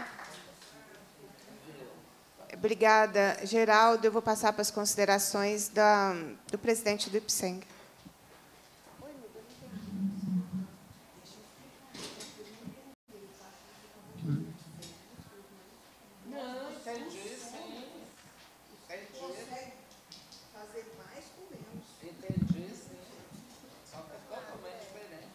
Obrigado, deputada. É, esclarecendo, então, esclarecendo então uma, uma pergunta, né, que foi em relação ao plano de ação. Nosso plano de ação já foi iniciado, a previsão de finalização é 31 do 7. Mas eu já pedi à minha equipe, a gente vai providenciar o PDF do plano de ação e eu vou te encaminhar, até para que a senhora me ajude a acompanhar. É, em relação ao pedido da Tieta, Tieta, você sabe né, como que acontece o pagamento do piso da enfermagem. É, o Estado já diligenciou o Ministério da Saúde. 100% dos recursos transferidos pela União são transferidos para o pagamento do piso dos profissionais do IPSENG e o valor do retroativo que não foi pago não foi transferido ao Estado. Né? E de acordo e não é o governador que paga, né? É o, é o ministro, é o ministro. E tem, inclusive, uma decisão do Supremo falando que é o, a União que paga. É, nós temos reuniões agendadas agora para o final de maio, junto com o Ministério da Saúde, para providenciar é, a cobrança desse retroativo, que é o valor que está pendente de pagamento de maio a setembro do ano passado. Bem, gente, é, eu vou concluir que essa audiência cumpriu a finalidade, não é? é ela foi uma, foi uma, vamos dizer assim, é uma, uma demanda trazida pelo Conselho Regional de Enfermagem a partir desse processo de fiscalização é, que o Conselho fez. O CISIPSENG e o Conselho de Beneficiários já são parceiros, né? É, eu não vou dizer antigos, porque parece que é de muito tempo, mas de todas as nossas ações em relação ao IPSENG, é, desde as visitas técnicas até as discussões em audiências aqui. Não é? Nós, por exemplo, construímos projetos de lei sobre o IPSENG a partir de audiências de discutas. Da mesma forma, o Sind Saúde é um parceiro, o Sindiúte, que estava aqui conosco através do Paulo Henrique, outros sindicatos da administração direta. Todas as vezes que nós pautamos o debate do IPSENG, nós temos nos sindicatos é uma parceria importante. E agora uma parceria com o Conselho Regional é, de Enfermagem. Então, é, essa audiência ela cumpriu a sua finalidade daquilo que o Conselho é, havia trazido e do que o IPSENG apresenta. Não, não não estou satisfeita com a ausência programada da CEPLAG e da Segov, porque é uma tentativa de desresponsabilizar o governo do Estado, deixando só a gestão do IPSENG como se ela fosse a única responsável. Por exemplo, é, nomeação de concurso público, realização de concurso público, carreira, carreira. Porque se você não tem uma carreira decente, eu não vou nem dizer atrativa, nós já, olha como é que a gente está no mínimo, né? Decente, você não consegue que os profissionais fiquem. Né? E aí o Estado cada vez mais vai ampliando essa política de credenciados que fica numa situação de ainda maior fragilidade, de ainda maior precarização. Porque os credenciados, me corrijam, mas é, aquela, é aquele sistema de contratação de pessoa jurídica, que nós já, já foi dito aqui é, em audiência, que, inclusive, nós tem, devemos ter um requerimento de uma audiência para avaliar essa forma de contratação. Quando o Estado parou de fazer contratação direta e passou a fazer um esquema que é de contratação de pessoa jurídica. Dentro desse, dessa desse processo que o Brasil viveu da terceirização irrestrita e da precarização do vínculo trabalhista. Então, você substitui a pessoa por um CNPJ. E aí muita coisa se perde. Não é? Direitos trabalhistas, preservação de, de direitos importantes da pessoa enquanto trabalhadora, ela deixa de ser reconhecida como trabalhadora e passa a ser tratada como um CNPJ. Então, tem muitos problemas. E mas ela, ela exerce uma função enquanto pessoa física, mas é, é, cobrado dela como pessoa física, mas ela é tratada como pessoa jurídica. E esse é um nível de precarização que as pessoas desconhecem. Eu acho que vale a pena, a gente já deve ter um requerimento sobre isso, porque cada vez que a gente faz um debate, é apresentado um novo problema, então a gente vai trabalhando especificamente. Eu acho que vale a pena a gente tratar essa situação. É? Fazer, inclusive, um balanço dessa mudança de contratação, é, qual é a consequência para essas pessoas. É? Porque o adoecimento, a, a, a, precarização que vai gerar um adoecimento, que vai levar a gente a uma situação de miserabilidade. porque é sobre isso que nós estamos falando também, de salários que são muito baixos. Né, e de contratações que são muito baixas. É, então, a, a, ausência da CEPLAG e da SEGOV, elas, elas trazem aí uma omissão né, e uma tentativa do governo de se afastar é, das suas responsabilidades em relação ao IPSENG. Então, isso não está despercebido, porque deve ser a terceira ou quarta vez que a Segov e a CEPLAG se ausentam, é, e nós vamos mudar. Né? É, enquanto comissão, eu vou, vou fazer essa discussão, porque quando eu apareço com requerimento de convocação, sempre é pedido, não, vamos convidar primeiro, é a convocação, é, é um, é um, é um, é um ato hostil, né? É, mas no convite a turma não está aparecendo. Né? Então, talvez seja necessário um pouquinho de hostilidade mesmo para que a Segov e a CEPLAG compreendam né? que devem, de, quando elas são convidadas é porque elas são necessárias e importantes no processo. Não é? É, então, nós também temos já aprovado aqui nessa comissão um requerimento para discutir a questão do piso da enfermagem. Então, querendo né, é, as entidades querendo, achando que é necessário, é, a gente pode construir essa próxima audiência. Né? Nós estamos falando do piso da enfermagem, aí é na rede estadual né? É, de saúde, o que inclui o IPSENG, é? e nós podemos ampliar. Eu só acho que valeria a pena esperar essa reunião, que o presidente do IPSENG anunciou que vai acontecer no final de maio, para, com as tratativas dela, ou a ausência né, de encaminhamentos dela, a gente poder fazer encaminhamentos. Mas fica aí à disposição. E fica à disposição também a comissão. Vamos aguardar é, esse plano né, de, de, esse plano de ação e as respostas. Eu estou entendendo, André, que você ainda vai encaminhar formalmente as respostas ao Conselho Regional Sim. para que da análise. Oi? Assim, se você puder fazer. É, né? É, para que, a partir do, das respostas do, do PSENG, novos encaminhamentos que possam ser feitos via audiência. Então, eu vou aguardar é, o, o Conselho na análise das respostas né, do IPSENG, quais os próximos encaminhamentos. Quero lembrar também que todas as apresentações que foram feitas aqui durante essa audiência ficam disponíveis, são públicas, fica, os arquivos ficam disponíveis, só você consultar esta audiência pública. E acho, então, que, cumprida a finalidade da, desta audiência, que, essa, que esse foi o nosso, nosso trabalho, cumprida a finalidade da audiência, a presidência agradece a presença de todas as pessoas, que participaram. Ah, acho que a participação do Elzo, do senhor Armando, da Núbia eh, e da Badia demonstram bem a dinâmica de uma audiência pública. Eu lamento, porque a gente só pode fazer audiência pública durante o dia, e isso traz um limitador. Né? A classe trabalhadora está trabalhando durante o dia, em que pese no caso da saúde, ela está trabalhando à noite também. Né? Não é um, nesse caso, não é um bom exemplo, porque a saúde trabalha às 24 horas. Mas é evidente que, à noite, você tem uma possibilidade maior de participação. Mas é o horário que a gente pode marcar. É, mas é importante sempre acompanhar os trabalhos do Legislativo. Eu quero também alertar a todos os servidores que o projeto de lei sobre as alterações do IPSENG é, e o projeto de lei de alterações no IPSM os dois estão na pauta da Comissão de Constituição e Justiça dessa terça-feira, a partir das 9h30 da manhã.